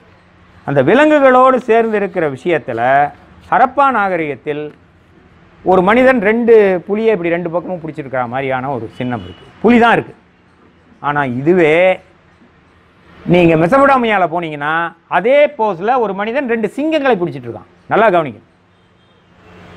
இந்த ஹரப்பன் நாகரிகத்தில் புலி தான் இருக்குது சிங்கம் இல்லை. அங்கே சிங்கம் இருக்குது புலி இல்லை. ரெண்டுமே வெவ்வேறு விலங்குகள்.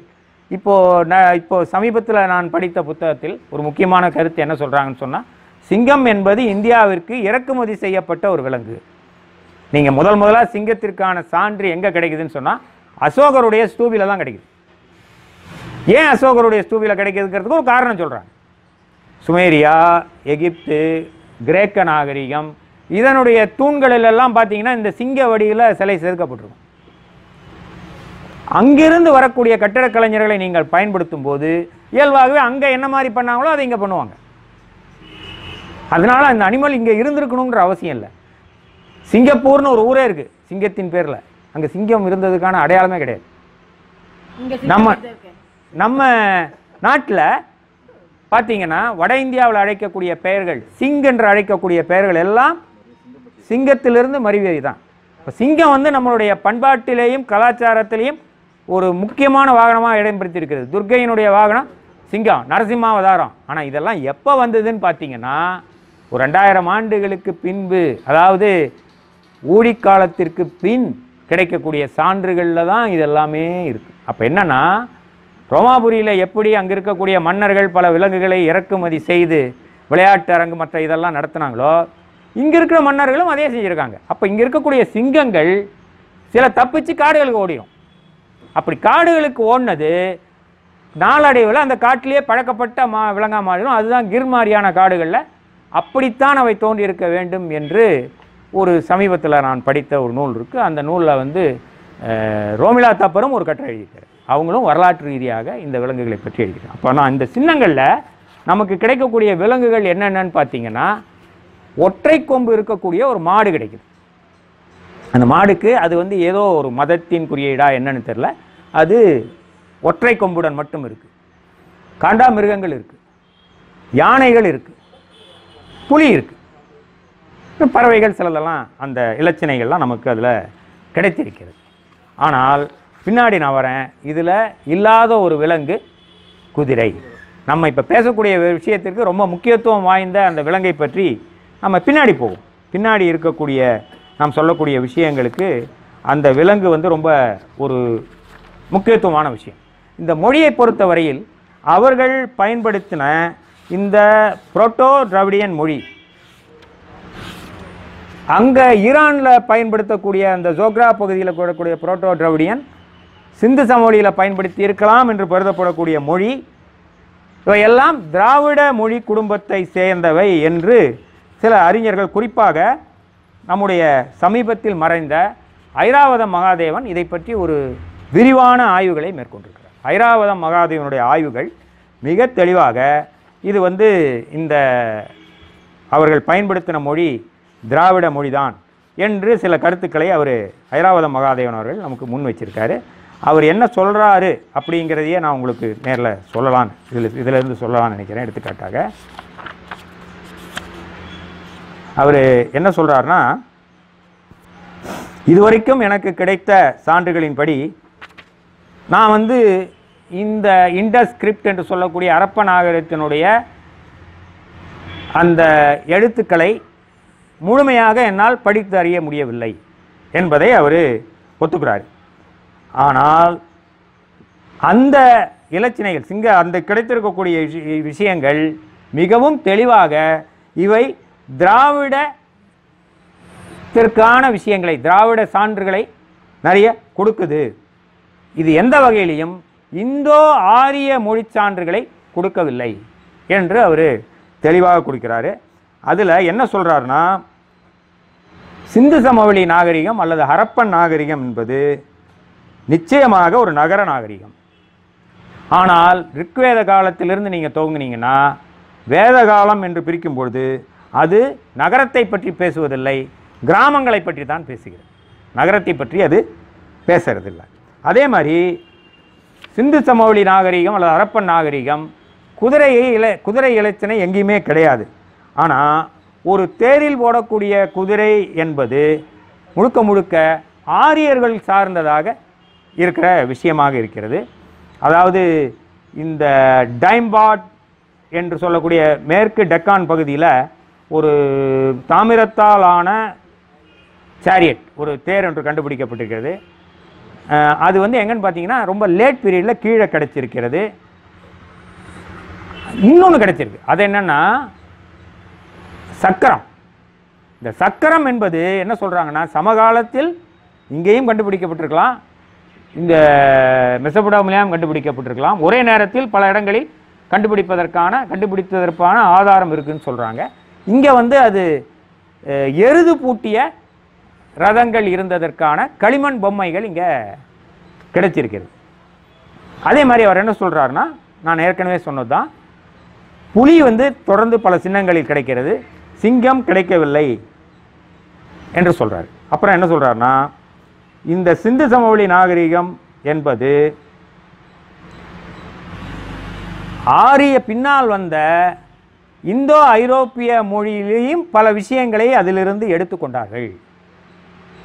பின்னாடி வந்த அவங்க யாருன்றது பின்னாடி வருவோம். அவர்கள் எடுத்துக்கொண்டார்கள். அவங்க பயன்படுத்தி இருக்கக்கூடிய அந்த சமஸ்கிருத மொழி என்பது வேறு மொழியிலிருந்து பல சொற்களை கடன் வாங்கப்பட்டவை. அந்த மொழியே பல சொற்களை கடன் வாங்கியிருக்கிறது. அது அது எனவே இந்த மொழி குடும்பத்தை இந்த சிந்து சமவெளியிலிருந்து கிடைக்கக்கூடிய மொழி குடும்பத்தில் வேறு ஒரு சான்று சொல்கிறாங்க அந்த மொழிக்கும் மற்ற மொழிக்குமான ஒப்புமையை பற்றி சொல்லும்போது ஒரு முக்கியமான சான்று நான் சொல்கிறேன் அது என்னன்னு சொன்னால் அதாவது திராவிடத்திற்கு முன்னால் இருக்கக்கூடிய புரோட்டோ டிராவிடியன் மொழி எலமைட் மொழி தமிழ் மலையாளம் தெலுங்கு இப்படி பல மொழிகளோட கம்பேரிசன் வருது. முதல்ல சொல்லக்கூடிய விஷயம் என்னன்னா புரோட்டோ எலோமா திராவிடியன். அப்படிங்கிற மொழியில் ஹிட் என்ற வார்த்தை ஆடுகளை மேய்ப்பதற்கு பயன்படுத்துவது ஆடுகளை மேட்டுவதற்கு பயன்படுத்துகிறது. ஆட்டு மந்தையை மேற்க பயன்படுத்துகிறது. அக்கமனைட் எலாமைட்டில் அதுவே ஹிடு என்று பயன்படுத்தப்படுகிறது. இது ஒரு பெண் ஆட்டை குறிக்கும் பொதுவாக ஆடுகளையும் குறிக்கும். புரோட்டோ டிராவணியில் இட் என்று இது குறிக்கப்படுகிறது. அதுக்கு பேர் ஒரு மந்தை ஆட்டு மந்தை இட் என்று குறிக்கப்படுகிறது. தமிழில் இடை என்று குறிக்கப்படுகிறது. இடை. இடையர்கள். இடை. மலையாளத்தில் இடையன். இது ஒரு ஒற்றுமை சொல்கிறாங்க இன்னொரு ஒற்றுமை என்னென்னா ரெண்டாவது விஷயம். Proto Elamite Dravidian. அவர் நூற்றி நாற்பது மேலே இருக்குன்றாங்க சான்றுகள். அதில் சிலது எடுத்திருக்காங்க. புரோட்டோ திராவிடியனில் போட் அது வந்து என்ன சொல்கிறாங்கன்னா இளம் வயதுடைய ஒரு விலங்கு. அக்கமைடன் எலமெண்ட்டில் புட்டு லேம் அதாவது ஆட்டுக்குட்டி. புரோட்டோ டிராவிடியனில் திரும்பவும் அதை உச்சரிக்கும் போது போட் என்று உச்சரிக்கிறாங்க. அதுவும் திரும்ப யங் அனிமலையும் அல்லது ஒரு செடியை கூட குறிக்குதுன்னு சொல்கிறாங்க தமிழில் போட்டு போட்டு போட்டுங்கிறது இதில் வந்து சாப்ளிங்னு போட்டிருக்கு. எனக்கு அது சரியான தமிழ் வார்த்தை இங்கே யாராவது ஐயா நீங்கள் சொன்னால் சரியாக இருக்கும். பிஓடிடியு ஒரு தாவரத்திற்கு எப்படி சொல்கிறது போட்டு. மரக்கன்று. சாப்ளிங் மரக்கன்று. அது ஆங்கிலம். நான் சொல்றது போட்டு. பிஓடிடியு அது இதில் சாப்ளிங்னு போட்டிருக்கு. அதே மாதிரி திரும்பவும் மூணாவது விஷயம். புரோட்டோ எலாமோ டிராவிடியனில் வரி வரி டு ஃபிக்ஸ் டை ஹோல்ட் அதாவது ஏதாவது ஒன்றை வரிந்து கட்டுவதற்குன்னு சொல்கிறோம் இல்லையா? பிடி பிடி பிடிப்பதற்கு மிடில் எலாமைட்டில் மரி என்ற வார்த்தையாக இருக்கிறது. அதுவும் பிடிப்பது பற்றி பிடிப்பது உன்னை கேட்ச் பண்ணுறது கேப்சர் என்ற அர்த்தத்தில் அது பயன்படுத்தப்படுகிறது. புரோட்டோ டிராவிடியன்லையும் திரும்பவும் வந்து வரி வருது. அது வந்து டு பைண்ட் டை ஃபாஸ்டன் வேகமாக இருக்குவது தமிழில் வரி. அவனை என் மலானாக வரித்தேன். சொல்கிறாங்கல்ல வரித்து கொண்டான். அதை கட்டுவது. அது தமிழில் அந்த வார்த்தை இருக்கிறது. அதே மாதிரி புரோட்டோ எலாமா டிராவிடியனில் உம் இது வந்து நல்ல செழுமை இதாக்கப்பட்ட உமி நீக்கப்பட்ட தாரியம் உம். அக்கமனைடன் எலாமேட்டில் ஒரு தானியத்தை அரைப்பதற்கு அதே வார்த்தை வேற வார்த்தை பயன்படுத்துகிறது உம். புரோட்டோ டவுடின்லையும் உம் உமியாக பயன்படுத்தப்படுகிறது. தமிழில் உமி. தெளிவாகவே நமக்கு அர்த்தம் தெரியும். தெலுங்கில் உம்கா. இதே மாதிரி ஐந்தாவது வார்த்தை. புரோட்டோ எலாமா டிராவிடியனில் நீ. இது வந்து ஓல்டு எலாமைட் திராவ் புரோட்டோ டிராவிடியன் அனைத்து திராவிட மொழிகள்லையும் நீ. நீனா நீ. எல்லாத்துலேயும் நீ தான். அடுத்தது புரோட்டோ எலாமா டிராவிடியனில் நாள். டே நாள். மிடில் எலாமைட்லேயே நா. நானா பன்மை. புரோட்டோ டிராவிடியனில் நாள். தமிழ்லையும் நமக்கு சொல்ல வேண்டியதில்லை. நாள். நாள் நாள் தான். அதே மாதிரி புரோட்டோ எலாமா டிராவிடியனில் தோல். தோல் தோல். அது வந்து டு பெர்ஃபரேட் போர் ஓட்டை போடுறது.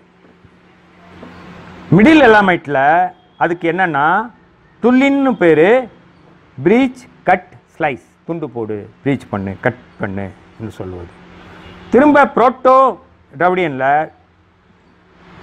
அதே அர்த்தம் தான் தோல் ஓட்ட போடு தொலை.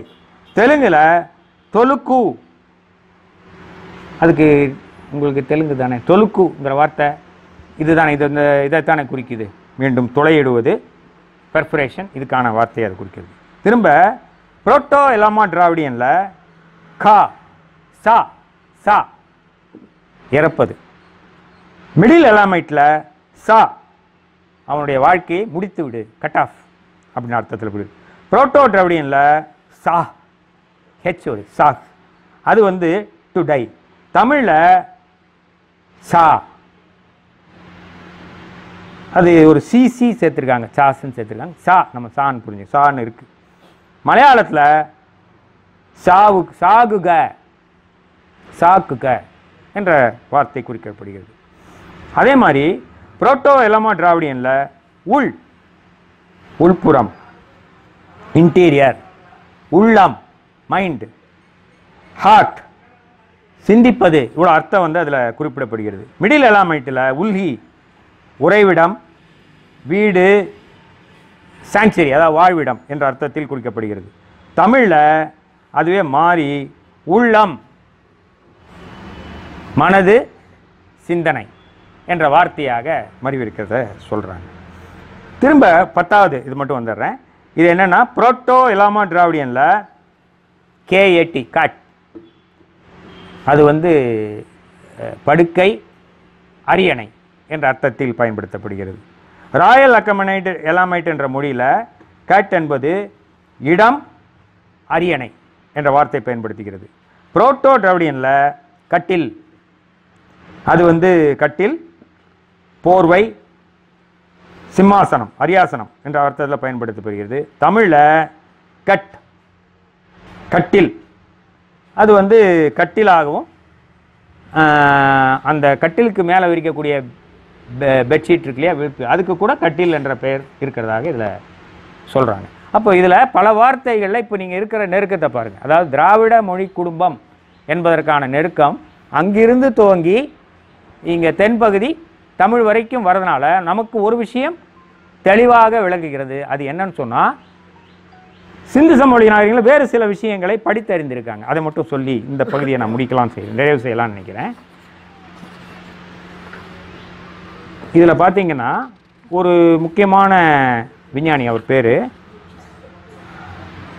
பர்போலா அஸ்கா பர்போலா என்பவர் ஐராவத மகாதேவன் மாதிரியே இந்த நாகரிகத்தை பற்றி விரிவான ஆய்வுகள் மேற்கொண்டவர். அவர் என்ன பண்ணுறாருன்னா அவருடைய ஆய்வுக்கு அவர் எடுத்துக்கொள்வது முழுக்க முழுக்க இந்த எழுத்துக்களில் இருக்கக்கூடிய இலச்சினைகளில் வானியலோட தொடர்புபடுத்துகிறார் அப்போ தொடர்ந்து எல்லா இடங்கள்லையும் ஒரு மீன் சின்னம் வரையப்பட்டிருக்கு. இதில் பார்த்தீங்கன்னா ஒரு மீன் சின்னம் மேலே கார்னரில் இருக்கும் பாருங்க. இருக்கா? மீன் சின்னம் இருக்கா? இந்த மீன் சின்னத்தோடு சேர்த்து ஏழு கோடுகள் இருக்கும். கீழே ஒற்றை கொம்பு மாடும் மேலே ஏழு கோடுகளும் இருக்கும். இது என்ன? என்று கேட்கும்போது இது சப்தரிஷி மண்டலத்தை குறிக்கிறது. ஏழு ஏழு மீன். ஏழு மீன் விண்மீன் அது ஏழு மீன். அப்போ இது சில இந்த மாதிரி சில வார்த்தைகளை அர்த்தம் அவர் படிக்கிறார். ஆறு கோடு போட்டது இதே மாதிரி இருக்கு. அது கார்த்திகை நட்சத்திர கூட்டத்தை குறிப்பதற்கு இது பயன்படுத்தப்படுகிறது. அப்போ எல்லா வார்த்தைகளையும் நாம் படிக்க முடியவில்லை என்று சொன்னாலும் சில வார்த்தைகளை படிக்க முடிவதை அவர்கள் ஆய்வு செய்திருக்கிறாங்க. அப்போ இந்த மக்கள் ஒரு குறிப்பிட்ட காலத்திற்கு பிறகு நான் சொன்ன மாதிரி அந்த ரெண்டாயிரத்தி தொள்ளாயிரத்திற்கு பிறகு அந்த சிந்து ச இந்த சிந்து சமவெளி நாகரிகம் அல்லது ஹரப்பன் நாகரிகம் ஒரு சரிவை சந்திக்கிறது. இந்த சரிவுக்கு என்ன காரணம் என்று நீண்ட காலமாக நாம் ஒரு இருபது வருடங்களுக்கு முன்பெல்லாம் சொல்லப்பட்ட விஷயம் என்னன்னு சொன்னால் ஆரியர்கள் வந்து இங்கே படையெடுத்தார்கள். அந்த படையெடுப்பில் சண்டை நிகழ்ந்தது. அந்த சண்டையில் இவங்கெல்லாம் தோற்று போயிட்டாங்க. அப்புறம் அவங்க கொஞ்சம் கொஞ்சமாக எல்லா இடத்தையும் பிடிச்சிட்டாங்க. இந்த நூலும் சரி இதற்கு முன்னால் ரோமிலா தப்பர் கூட அதை ஏற்றுக்கொள்ளவில்லை. இது முழுக்க முழுக்க இயற்கை சீற்றம் காரணமாக இயற்கையில் ஏற்பட்ட மிகப்பெரிய வறட்சி காரணமாக ஒரு மிகப்பெரிய ஒரு மாற்றம் அங்கே ஏற்பட்டிருக்கு. அதாவது வந்து ஒரு குறிப்பிட்ட சில வருடங்களில் அந்த ரெண்டாயிரத்தி தொள்ளாயிரத்துக்கு பிறகு ஒரு நீண்ட காலத்திற்கு ஒரு பஞ்சகாலமாக இருந்திருக்கு. அது உலகத்தில் பல நாகரிகங்களை பாதிச்சிருக்கு. எகிப்து மெசபடாமியா இங்கெல்லாம் கூட அந்த வறட்சி என்பது வந்திருக்கிறது. அந்த வறட்சி காரணமாக அவர்கள் வேறு பகுதிக்கு நகர்ந்திருக்கிறார்கள். அவர் வேறு பகுதிக்கு நகர்ந்ததற்கான சான்று பார்த்தீங்கன்னா மகாராஷ்டிராவில் எடுக்கிறாங்க. மகாராஷ்டிராவில் மொழியில் பயன்படுத்தக்கூடிய வார்த்தை பள்ளி. பல ஊர்கள் கிராமங்கள் பள்ளி என்ற வார்த்தை கலந்துருக்கு. அதுவே கர்நாடகத்துக்கு வரும்போது ஹள்ளியாக மாறிடுது. இப்படி அந்த திராவிட மொழியில் இருக்கக்கூடிய பல மொழிகள் கொஞ்சம் கொஞ்சமாக மாறி கீழே வரைக்கும் வரதை சொல்கிறாங்க இப்போ நீங்கள் ஒன்று நாம் என்ன புரிஞ்சிக்கூடாதுன்னா சிந்து சமவெளி அல்லது அரப்பா நாகரிகத்தில் இருக்கிறவர்களிலிருந்து வந்தவங்க இவங்கன்னு புரிஞ்சுக்க முடியாது. ஏற்கனவே அறுபத்தைந்தாயிரம் வருடங்களுக்கு முன்பே இங்கே ஒரு கூட்டம் இருந்திருக்கு. அவர்களும் பின்னால் இந்த சிந்து சமவெளி நாகரிகம் ஒரு நகர நாகரிகமாக உருவாவதற்கு முன்பே ஈரானிலிருந்து தொடங்கி சிந்து சமவெளி தாண்டி குடியேறியவர்களும் சிந்து சமவெளி நாகரிகத்தினுடைய ஹரப்பா நாகரிகத்தினுடைய அந்த அழிவுக்கு பிறகு கீழே நகர்ந்தவர்களும் இவர்களெல்லாம் சேர்ந்த ஒட்டுமொழி ஒட்டுமொத்த தொகுதி தான் உங்களுக்கு தமிழகமோ தென்பகுதியோ இந்த தக்கான பீடபூமி பகுதியோ இருக்கக்கூடிய மக்களாக நாம் எடுத்துக்கொள்ள வேண்டும். அப்போ இதில் சில பகுதிகளில் வடமேற்கில் ஒரு மூணு இடத்துல ஒரு மரபணு தொகுதி கிடைத்திருக்கிறது. அந்த மரபணு தொகுதியை ஆய்ந்ததில் அது இந்த திராவிட மொழி குடும்பத்திற்கு மிக நெருக்கமானதாக அறியப்படுகிறது. இந்த நகர்வு இப்படி தான் இருக்குது அதாவது இன்றைக்கு ஒரு ரெண்டாயிரத்தி தொள்ளாயிரம் வருடங்கள் முன்பு வரைக்கும் இந்தோ ஐரோப்பிய மொழி குடும்பத்தை சேர்ந்தவர்கள் இங்கு வரவில்லை. அது தெளிவு. அதற்கு முன்னால் இருந்தவர்கள் இவர்கள்தான். அறுபத்தஞ்சாயிரம் வருஷம் அப்புறம் அந்த ஜோக்ரா மலைப்பகுதி ஈரான்லேருந்து வந்த குடியேற்றம் அப்புறம் ஹரப்பா நாகரிகத்திலிருந்து கீழ்நோக்கி வந்தவர். இதெல்லாம் ஏற்பட்ட ஒரு கலப்பு. ஆரியர்கள் என்று அழைக்கப்படக்கூடியவர்கள் யார் என்ற ஒரு மிகப்பெரிய கேள்வி சர்ச்சை இன்றளவுக்கும் வந்து கொண்டிருக்கிறது. இப்போ அது இந்தோ ஆரிய மொழி குடும்பத்தை பேசுபவர்கள் அனைவரும் ஆரியர்கள் என்ற அவங்களே தங்களை ஆரியன் சொல்லிக்கிட்டாங்க. அது ஒரு தனி இனம் கிடையாது. இந்த மொழி குடும்பத்தை பேசுகிறவர்கள் இந்த மொழிக்கு தங்களை உடையவர்களாக இருக்கக்கூடியவர்கள். அவர்கள் ஆரம்ப கட்டத்தில் மத்திய ஆசிய பகுதியிலிருந்து சில பிரிவுகளாக பிரிஞ்சு போயிருக்காங்க. ஒரு பிரிவு பார்த்தீங்கன்னா ஐரோப்பாவினுடைய மேற்கு பகுதி கிழக்கு பகுதி அப்படி போயிடுது. இன்னொரு பிரிவு மேலே போய் தஜிக்ஸ்தான் வழியாக அப்படியே கொஞ்சம் கொஞ்சம் கொஞ்சம் கொஞ்சமாக கீழே இறங்குது. அப்படி கீழே இறங்குறவர்கள் தான் பாகிஸ்தானிலிருந்து வந்து அப்புறம் இந்திய பகுதிக்கு வந்து இங்கு இருக்கக்கூடிய மக்களோடு கலந்தவர்கள். அப்போ அவர்களை பற்றி நாம் தெரிந்து கொள்வதற்கு நமக்கு என்ன சான்று இருக்கு என்று பார்த்தோன்னா நமக்கு முக்கியமான சான்றாக கிடைப்பது ரிக்வேதம். ரிக்வேதத்தில் அவர்கள் ஆரம்ப காலத்தில் துவக்க காலத்தில் பாடிய பாட்டுகள் போக போக அவர்கள் பாடிய பாட்டுகள் இதிலெல்லாம் கிடைக்கக்கூடிய சான்றுகள் அவர்கள் யார் என்பதை காட்டுது அவங்க கும்பிட அவங்க கும்பிட்ட தெய்வங்கள். பார்த்தீங்கன்னா இந்திரன் வருணன் வாயு அக்னி. இவர் தான் முதல் அஸ்வின். அஸ்வினி தேவர்கள்னு சொல்கிறோம் இல்லையா? அஸ்வின். இந்த அஸ்வின் தான் ரொம்ப முக்கியத்துவமான இடத்தை பெறுகிறது. நான் அஸ்வின் என்பது குதிரை. குதிரையை வாகனமாகவோ அல்லது குதிரையை உருவமாகவோ கொண்ட தேவர்கள். அப்போ இந்த குதிரை இவர்களுடைய முக்கியமான விலங்காக இருந்திருக்கிறது. அதற்கு முன் இந்தியாவில் குதிரைகள் கிடையாது. அப்போ ஒருத்தர் வலதுசாரி வரலாற்றாசிரியர் ஒரு சான்று வைக்கிறார். குஜராத்தில் ஒரு பகுதியில் கிடைச்சிருக்கு. அதான எலும்பு கிடைக்குது. இது வந்து பல அதுக்கு நீங்கள் சொல்கிற காலத்திற்கு முற்பட்டது அதுக்கு என்ன பதில் வருதுன்னு சொன்னால் பல நாடுகளிலிருந்து விலங்குகள் வாங்குவதும் இறக்குமதி செய்யப்படுவதும் நடந்துகிட்டு தான் இருக்குது குதிரை இல்லைன்னா நிறைய இல்லைன்னு அர்த்தம். இப்போ இந்தியாவில் கூட ஒரு குறிப்பிட்ட கோவிலில் ஒரிசாலே அது ஒரு கோவிலில் பார்த்தீங்கன்னா ஒட்டகச்சிவிங்கியினுடைய சிலை இருக்குதுல்ல இந்தியா ஒட்டகச்சிவிங்கி இந்தியாவில் இருக்கா? கப்பல்லேருந்து இறக்குமதியாகி இங்கே ஒன்றாந்துருக்காங்க அந்த மாதிரி ஏதோ ஒன்று ரெண்டு இருந்திருக்கலாமே ஒழிய இந்தியாவில் குதிரைகள் கிடையாது. குதிரைகள் மத்திய ஆசியாவில் கசக்ஸ்தான் புல்வெளியில் அல்ல இந்த ஸ்டெப்பி புல்வெளி கால பகுதியில் பழக்கப்பட்ட ஒரு விலங்கு. அது உலகத்தின் பல பகுதிகளுக்கு இவர்களால் கடத்தப்படுகிறது. அப்படி உருவாகி வந்தவை தான் இங்கே குதிரைகள். ஆரியர்கள் தங்களுடைய சடங்குகளில் முக்கியமான விலங்காக குதிரையை வைத்திருக்கிறார்கள். வேதத்தில் அந்த குதிரை மாமிசத்தை எப்படி சாப்பிடணும் அது எவ்வளவு சுவையுடையது எப்படியெல்லாம் சாப்பிட்டாங்க அதில் யாகத்தில் அதை எப்படி செஞ்சாங்க என்பதற்கான பாடல்கள் ரிக்வேதத்தில் இருக்கிறது. அப்போ இது இதை தாண்டி ரிக்வேதத்தை தாண்டி பார்த்தீங்கன்னா அவங்க இந்த வந்த பிறகு பல வார்த்தைகள் இந்த திராவிட மொழி புழக்கத்தில் இருக்கக்கூடிய சில வார்த்தைகள் அவங்களுக்கு உள்ள அவங்க பழக்கத்தில் வருது. அந்த வார்த்தைகள் என்ன நோட் பண்ணியிருக்கேன்.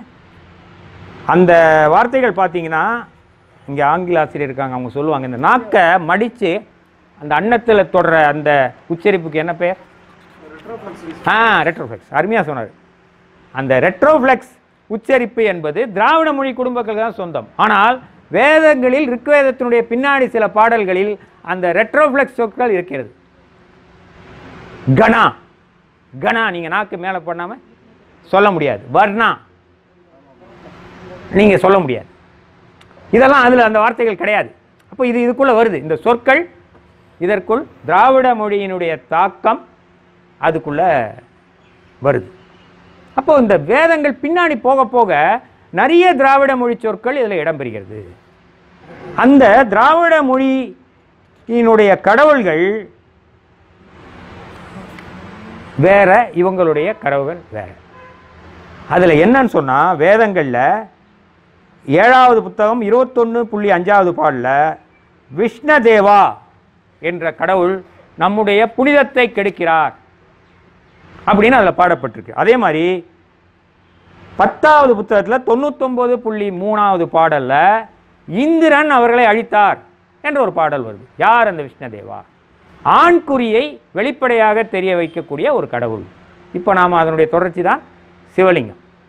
அப்போ இந்த ஆண்குறி சின்னங்கள் குறிப்பாக இந்த குஜராத் பகுதியில் இருக்கக்கூடிய தோலவிரா என்ற பகுதி நினைக்கிறேன். அந்த பகுதியில் கிடைச்சிருக்கு. அது அகழ்வாராய்ச்சியில் ஒரு நீண்ட தூண் மாதிரி இருக்கும். மேலே ஆண்குறி சின்னம் என்பது தெளிவாக இது வரையறுத்திருக்காங்க. அதில் சில இடங்கள்லாம் அது உடைக்கப்பட்டும் உடைக்கப்பட்டிருக்கு இப்போது இந்த விதமான வழிமுறைகளை மாறி வேறொரு வழிமுறை அவங்களுக்கு பிடிக்கல செஞ்சுருக்காங்கன்ற மாதிரி கூட நம்ம அனுமானிப்பதற்கான அடையாளங்கள் அதில் கிடைத்திருக்கிறது.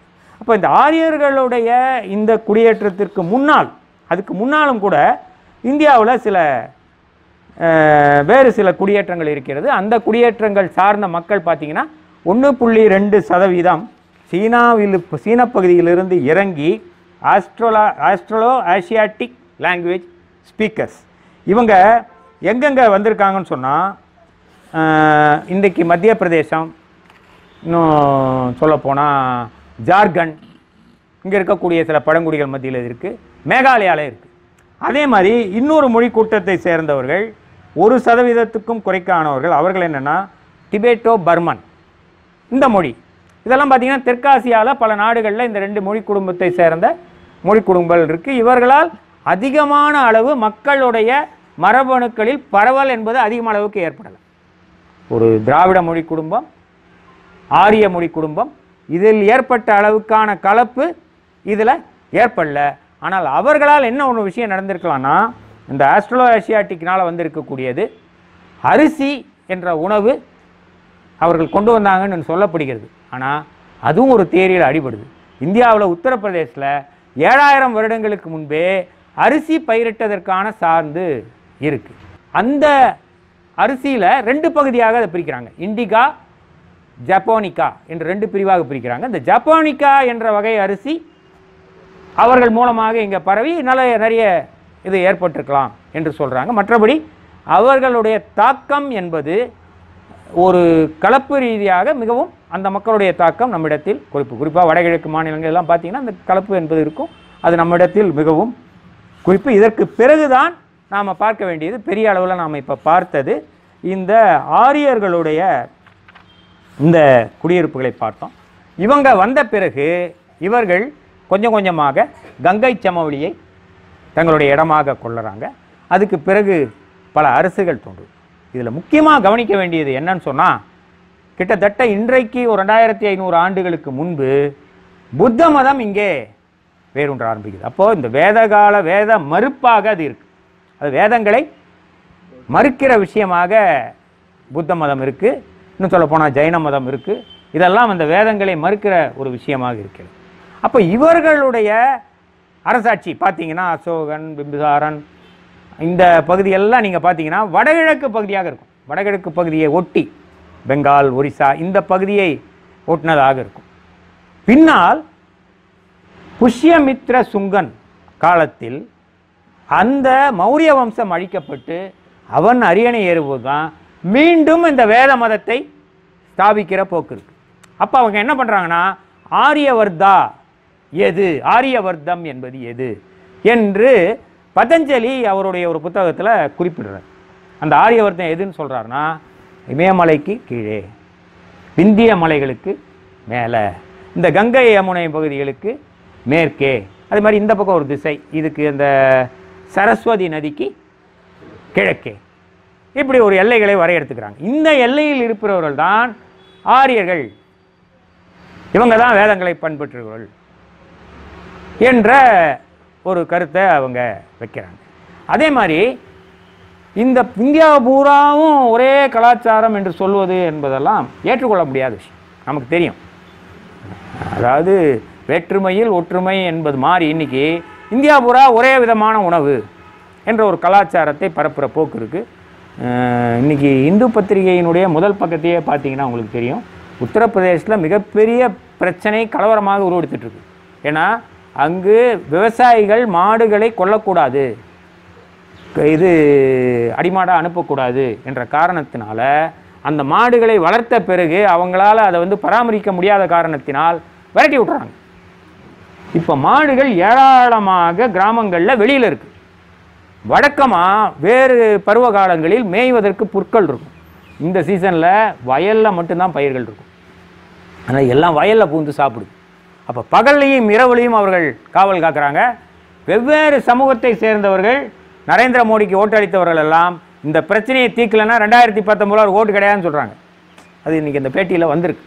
அப்போ இந்த மாடு என்கிற விஷயத்து கூட பார்த்தீங்கன்னா நீங்கள் வேதங்களில் பார்த்தீங்கன்னா பசுவினுடைய அந்த மாமிசத்தை புசித்ததற்கான ஏராளமான ஆதாரங்கள் இருக்குது ஆனால் ஒரு விஷயம் இதில் நாம் புரிந்து கொள்ள வேண்டியது என்னன்னு சொன்னால் இந்த உணவை பொறுத்து இப்போ நாம் பேசுகிற இதற்கு தொடர்பான விஷயமாக ஒன்று பார்க்கணும். இந்தியாவில் பாலை உணவாக உட்கொள்கிறவர்கள் எவ்வளவு பேர்? அப்படின்னு ஒரு பொது கணக்கு எடுத்துருக்கேன் மிக அதிகமாக பாலை உட்கொள்கிறவர்கள் யாருன்னு பார்த்தீங்கன்னா இந்தியாவினுடைய வடமேற்கு பகுதி நார்த்து மேலேருந்து வந்தீங்கன்னா இந்த பட்டம் மகாராஷ்டிரா குஜராத் வரைக்கும் மிக அதிகமான பால் உற்பத்தியும் மிக அதிகமாக பாலை உட்கொள்கிறவர்களும் இருக்கிறார்கள். நீங்கள் வடகிழக்குலேயும் கீழே தெற்குலையும் வந்தீங்கன்னா பாலை நேரடியாக உணவாக உட்கொள்கிறவர்கள் ரொம்ப குறை. அப்போ என்ன அது ஏன் இது நடந்திருக்கு? அப்படின்னு நீங்கள் பார்க்கணும். இது வந்து யாரும் விரும்பி செய்யலை. இந்தியாவில் இருக்கக்கூடிய மக்களில் இருபது சதவீதமானவர்களுக்கு மட்டுமே பால் சீரணமாகும். இதுதான் அடிப்படையான உண்மை.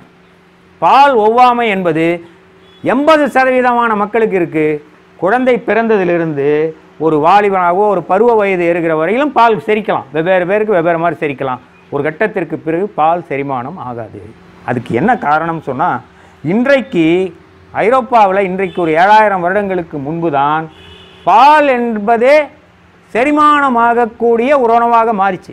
அது வந்து நம்மளுடைய மரபணுவில் ஒரு குறிப்பிட்ட வகையான ஜீன் ஒரு குறிப்பிட்ட வகையான மரபணு அந்த மரபணுவுக்கு பெயர் வந்து பதிமூணாயிரத்தி தொள்ளாயிரத்தி பத்து டி. அதுக்கு பேர் அது வந்து ஏழாயிரத்தி ஐநூறு ஆண்டுகளுக்கு முன்பு ஒரு மியூட்டேஷன் ஏற்பட்டது. அந்த எண்ணுள்ள மியூட்டேஷன் ஏற்பட்டது. அது கொஞ்சம் கொஞ்சமாக ஐரோப்பியர்கள் மத்தியில் நீங்கள் மேலே பார்த்தீங்கன்னா டென்மார்க் ஹாலண்ட்லாம் பார்த்தீங்கன்னா அங்கெல்லாம் நூறு சதவீதம் இருக்கும் மரபணு. இந்த பக்கம் வர வர குறையும். அப்போ இயல்பாகவே இந்த மரபணு பரவல் ஐரோப்பியர்கள் மூலமாக வந்ததுங்கும் போது அது கொஞ்சம் கொஞ்சமாக பரவி வடமேற்கு பகுதியில் மிக அதிகமாக இருக்குது உணவே அங்கே அதுதான். அது அதிகமாக இருக்குது ஆனால் இந்த பக்கம் வர வர குறையுது. அப்போது இதை ரெண்டு பகுதியாக இந்திய மக்கள் தொகுதியை இன்றைக்கு நாம் புரிந்து கொள்ளலாம். இந்த பழைய தொகுதியை. ஒன்று ஆன்ஷியன் சவுத் இந்தியன்ஸ் பழைய தென்னிந்தியர்கள் பழங்கால தென்னிந்தியர்கள். இன்னொன்று ஏன்ஷியன் நார்த் இந்தியன்ஸ் அப்போ இந்த ஏஎஸ்ஐ என்பவர்கள் யார்? பெரும்பகுதி யாருன்னு பார்த்தீங்கன்னா ஏற்கனவே இங்கே குடியேறியவர்கள். அந்த நடுவில் பாகிஸ்தான் பக்கத்தில் இருக்கக்கூடிய அந்த குடியேற்றத்திலிருந்து வந்தவர்கள் ஈரானிலிருந்து வந்தவர்கள் இது பெரும்பாலும். மேலே நீங்கள் போனீங்கன்னா அந்த ஹரப்பா நாகரிகத்தை சேர்ந்தவர்கள் இந்தோ ஐரோப்பியர்கள் பிரதானமானவர்கள். அவர்கள் வந்து அந்த ஏஎன்ஐ என்று சொல்லக்கூடிய பழங்கால வட இந்திய தொகுதிக்குள் வருவார்கள். அப்படி தான் இந்தியாவினுடைய இந்த இரண்டு தொகுதிகளும் இப்படித்தான் இருக்கிறது. ஆனால் இதுக்கு ரெண்டுக்கும் நடுவில் ஒரு மிகப்பெரிய சுவர் இருக்கா? அப்படின்னு பார்த்தா அப்படி பார்க்க முடியாது. இது வெவ்வேறு காலகட்டத்தில் கீழிருந்து மேலும் மேலிருந்து மேலும் போய் அந்த மரபணுக்கள் வெவ்வேறு அளவில் கலக்கப்பட்டிருக்கு அப்போ வெவ்வேறு அளவில் அது கலக்கப்படும் பொழுது ஒரு மாற்றம் வருது. இதை வந்து இந்த ஆசிரியர் ரொம்ப அழகாக சொல்கிறார் அவர் என்ன சொல்கிறாரு ஆரம்பத்தில் நடந்த குடியேற்றம் என்பது அந்த பீட்சாவில் இருக்கக்கூடிய ஒரு பிரெட் மாதிரி. அதுக்கு மேலே இந்த திராவிட மொழி குடும்பத்தை சேர்ந்தவர்கள் அது என்ன சொல்கிறது சாஸ். அதுக்கு மேலே இந்தோ ஆரிய மொழி பேசுகிறவர்கள் என்ற சீஸ். அதுக்கு மேலே வெவ்வேறு மொழி குடும்பத்தை சேர்ந்தவர்கள் இந்த ஆஸ்ட்ரோவாசி இந்த மாதிரி வெவ்வேறு குடும்பத்தை அது ஒரு பெரிய லிஸ்ட்டே கொடுக்குறாங்க. இந்தியாவில் அது பார்த்தீங்கன்னா நாம் ஒரு பெரிய லிஸ்ட்டே எடுக்கலாம். யார் யார் பின்னாடி வந்தாங்க என்று பார்த்தீங்கன்னா இந்த நூல்லையே அதை பற்றி ஒரு பெரிய லிஸ்ட்டு கொடுத்துருக்காங்க. அது என்னென்னா Burma Tibeto Austro Asian Burma Tibetan கிரேக்கர்கள் யூதர்கள் ஹூனர்கள் சாகர்கள் பாஸ் பார்சியர்கள் சிரியர்கள் முகலாயர்கள் போர்த்துகீசியர்கள் ஆங்கிலேயர்கள் சித்திகள். இந்த சித்திகள் யாருன்னா ஆப்பிரிக்காவிலிருந்து குடியேறிய கருப்பு நிறத்தை சேர்ந்த மக்கள் குஜராத்தில் ஒரு பகுதியில் இருக்காங்க. அப்போ இந்த வெவ்வேறு விஷயங்களும் பீட்சா மேலே தூர புந்திரி மற்ற என்னென்னமோ தூரம்ல அதெல்லாம் அப்படி நீங்கள் கற்பனை பண்ணிக்கலாம். இதுதான் ஒட்டுமொத்தமான இந்தியாவை நாம் புரிஞ்சிக்கிறதுக்கு ஒரு அவர் ஒரு உதாரணம் கொடுத்திருக்கிறார். இதை ஒட்டி வந்து இப்போ நமக்கு தெளிவாக தெரிவது என்னன்னு சொன்னால் சுத்தமான ஆரிய இனம் என்று ஒன்று கிடையாது. சுத்தமான திராவிட இனம் என்று கிடை ஒன்று கிடையாது. இந்த குடியேற்றங்கள் வெவ்வேறு காலகட்டத்தை சேர்ந்தவை. இதில் நான் ஏற்கனவே சொன்ன அந்த கடைசியாக சொன்ன ஒரு விஷயம் அந்த சொல்கிறேன்னு சொன்ன விஷயம் சரஸ்வதி நதி. இந்த சரஸ்வதி நதி நாகரிகம் என்பது ஹரப்பா நாகரிகத்துக்கு முற்பட்டது. அது வேதத்தில் சரஸ்வதியை பற்றி சொல்லியிருக்கு. சரஸ்வதி நதி இருந்திருக்கு. ஹிமா இமயமலை வந்து அந்த டெக்டானிக் பிளேட் என்று சொல்லக்கூடிய தட்டுக்கள் நகர்ந்த காரணத்தினால் சரஸ்வதி நதி வற்றி போய்விட்டது என்று புவியியல் சொல்லுகிறது என்று அறிவியலை துணை எடுத்துக்கிறாங்க அவங்க. ஆனால் உண்மையாக நடந்தது என்னென்னா இந்த சரஸ்வதி நதி என்று குறிப்பிடப்படக்கூடியது எந்த வகையிலும் இமயமலையோடு தொடர்புடையதல்ல. அது பருவ காலத்தில் உற்பத்தியாகக்கூடிய ஒரு நதி. வெவ்வேறு காலகட்டத்தில் அது ஓடி இருக்கு வெவ்வேறு காலகட்டத்தில் வற்றி இருக்கிறது ஆகவே வேதத்தில் குறிப்பிடப்படக்கூடிய ஒரு விஷயத்துக்கு கூட அவங்க ஒரு உதாரணம் சொல்கிறாங்க அது என்னன்னு சொன்னால் வேதம் குறிப்பிடும் அந்த சர அந்த நதிக்கு வந்து அவங்க என்ன சொல்கிறாங்க ஹரஹவிதி. ஹரஹவிதி. இந்த ஹரஹவிதி என்பது எப்படி ஹிந்து பாரசீக மொழியில் சிந்து ஆனதோ அதே மாதிரி இந்த ஹாவை நீங்கள் எடுத்துட்டீங்கன்னா சரச சரசவிதி சரஸ்வதி. அந்த ஹெச்ங்கிறது இதில் எஸ்ஸாக மாறுது. அப்படி ஒரு காரணம் இருக்கலாம். அல்லது அந்த சரஸ்வதி நதி வெவ்வேறு காலகட்டத்தில் ஓடியதை வைத்து வேறொரு நதிக்கு அந்த பெயரை கொடுக்கலாம். இப்போ ஒரு அயோத்தியாப்பட்டினம் இருக்குது தென்காசி இருக்குது மாதிரி அவர்கள் அங்கே ஓடின ஒரு நதி. இந்த இப்போ இது வந்து ஆப்கானிஸ்தானில் ஓடின நதி. அதனுடைய நினைவாக இங்கே ஓடின ஒரு சாதாரணமான ஆறுக்கு அந்த பெயரை வைத்திருக்கலாம் என்று சொல்லப்படுகிறது. இது வந்து நம்ம பொதுவாக இன்றைக்கு வந்திருக்கக்கூடிய ஒரு விஷயத்துக்கு நம்ம இதை எடுத்துக்கலாம். ஆகவே ஒட்டுமொத்தமாக நாம் பார்க்கும் பொழுது நாம் யாருன்னு சொன்னால் வரிசையாக வந்தோம்னு சொன்னால் நாம் அடிப்படையில் நம்முடைய தாய் வீடு அல்லது தந்தை வீடு எப்படி எடுத்துக்கிட்டாலும் சரி ஆப்பிரிக்கா கண்டம். அதிலிருந்து கொஞ்சம் கொஞ்சமாக நகர்ந்து ஒரு அறுபத்தைந்தாயிரம் வருடத்திலிருந்து பல்வேறு மாற்றங்களில் மாறி மாறி வந்து இன்று ஒட்டுமொத்தமான இந்த இந்திய துணைக்கண்டத்தினுடைய ஒரு தொகுதியாக நாம் இருக்கிறோம். இந்த புத்தகத்தில் இருக்கிற பல கருத்துக்களை நான் சொல்லணும்னு எடுத்துகிட்டு வந்தேன். நேரம் கருதி எல்லாவற்றையும் சொல்ல முடியவில்லை ஆங்கிலத்தில் இந்த நூலை படிக்கிற வாய்ப்பு இருக்கிறவர்கள் அவசியம் படிங்க. விரைவில் இது தமிழில் மொழிபெயர்ப்பதற்கான சில ஏற்பாடுகள் நடந்து கொண்டிருக்கிறது. அடுத்த ஆறு மாதத்திற்குள் இந்த புத்தகம் தமிழில் வெளிவர வாய்ப்பு இருக்கிறது. அப்பொழுது இது வந்து தமிழ்நாட்டில் ஒரு பரவலான வாசகர்களை சென்றடையும் என்று நம்பலாம். அந்த வகையில் என்னுடைய கருத்துக்களை இத்துடன் நிறைவு செய்கிறேன். கேள்வி இருந்தால் சொல்லுங்கள். பதில்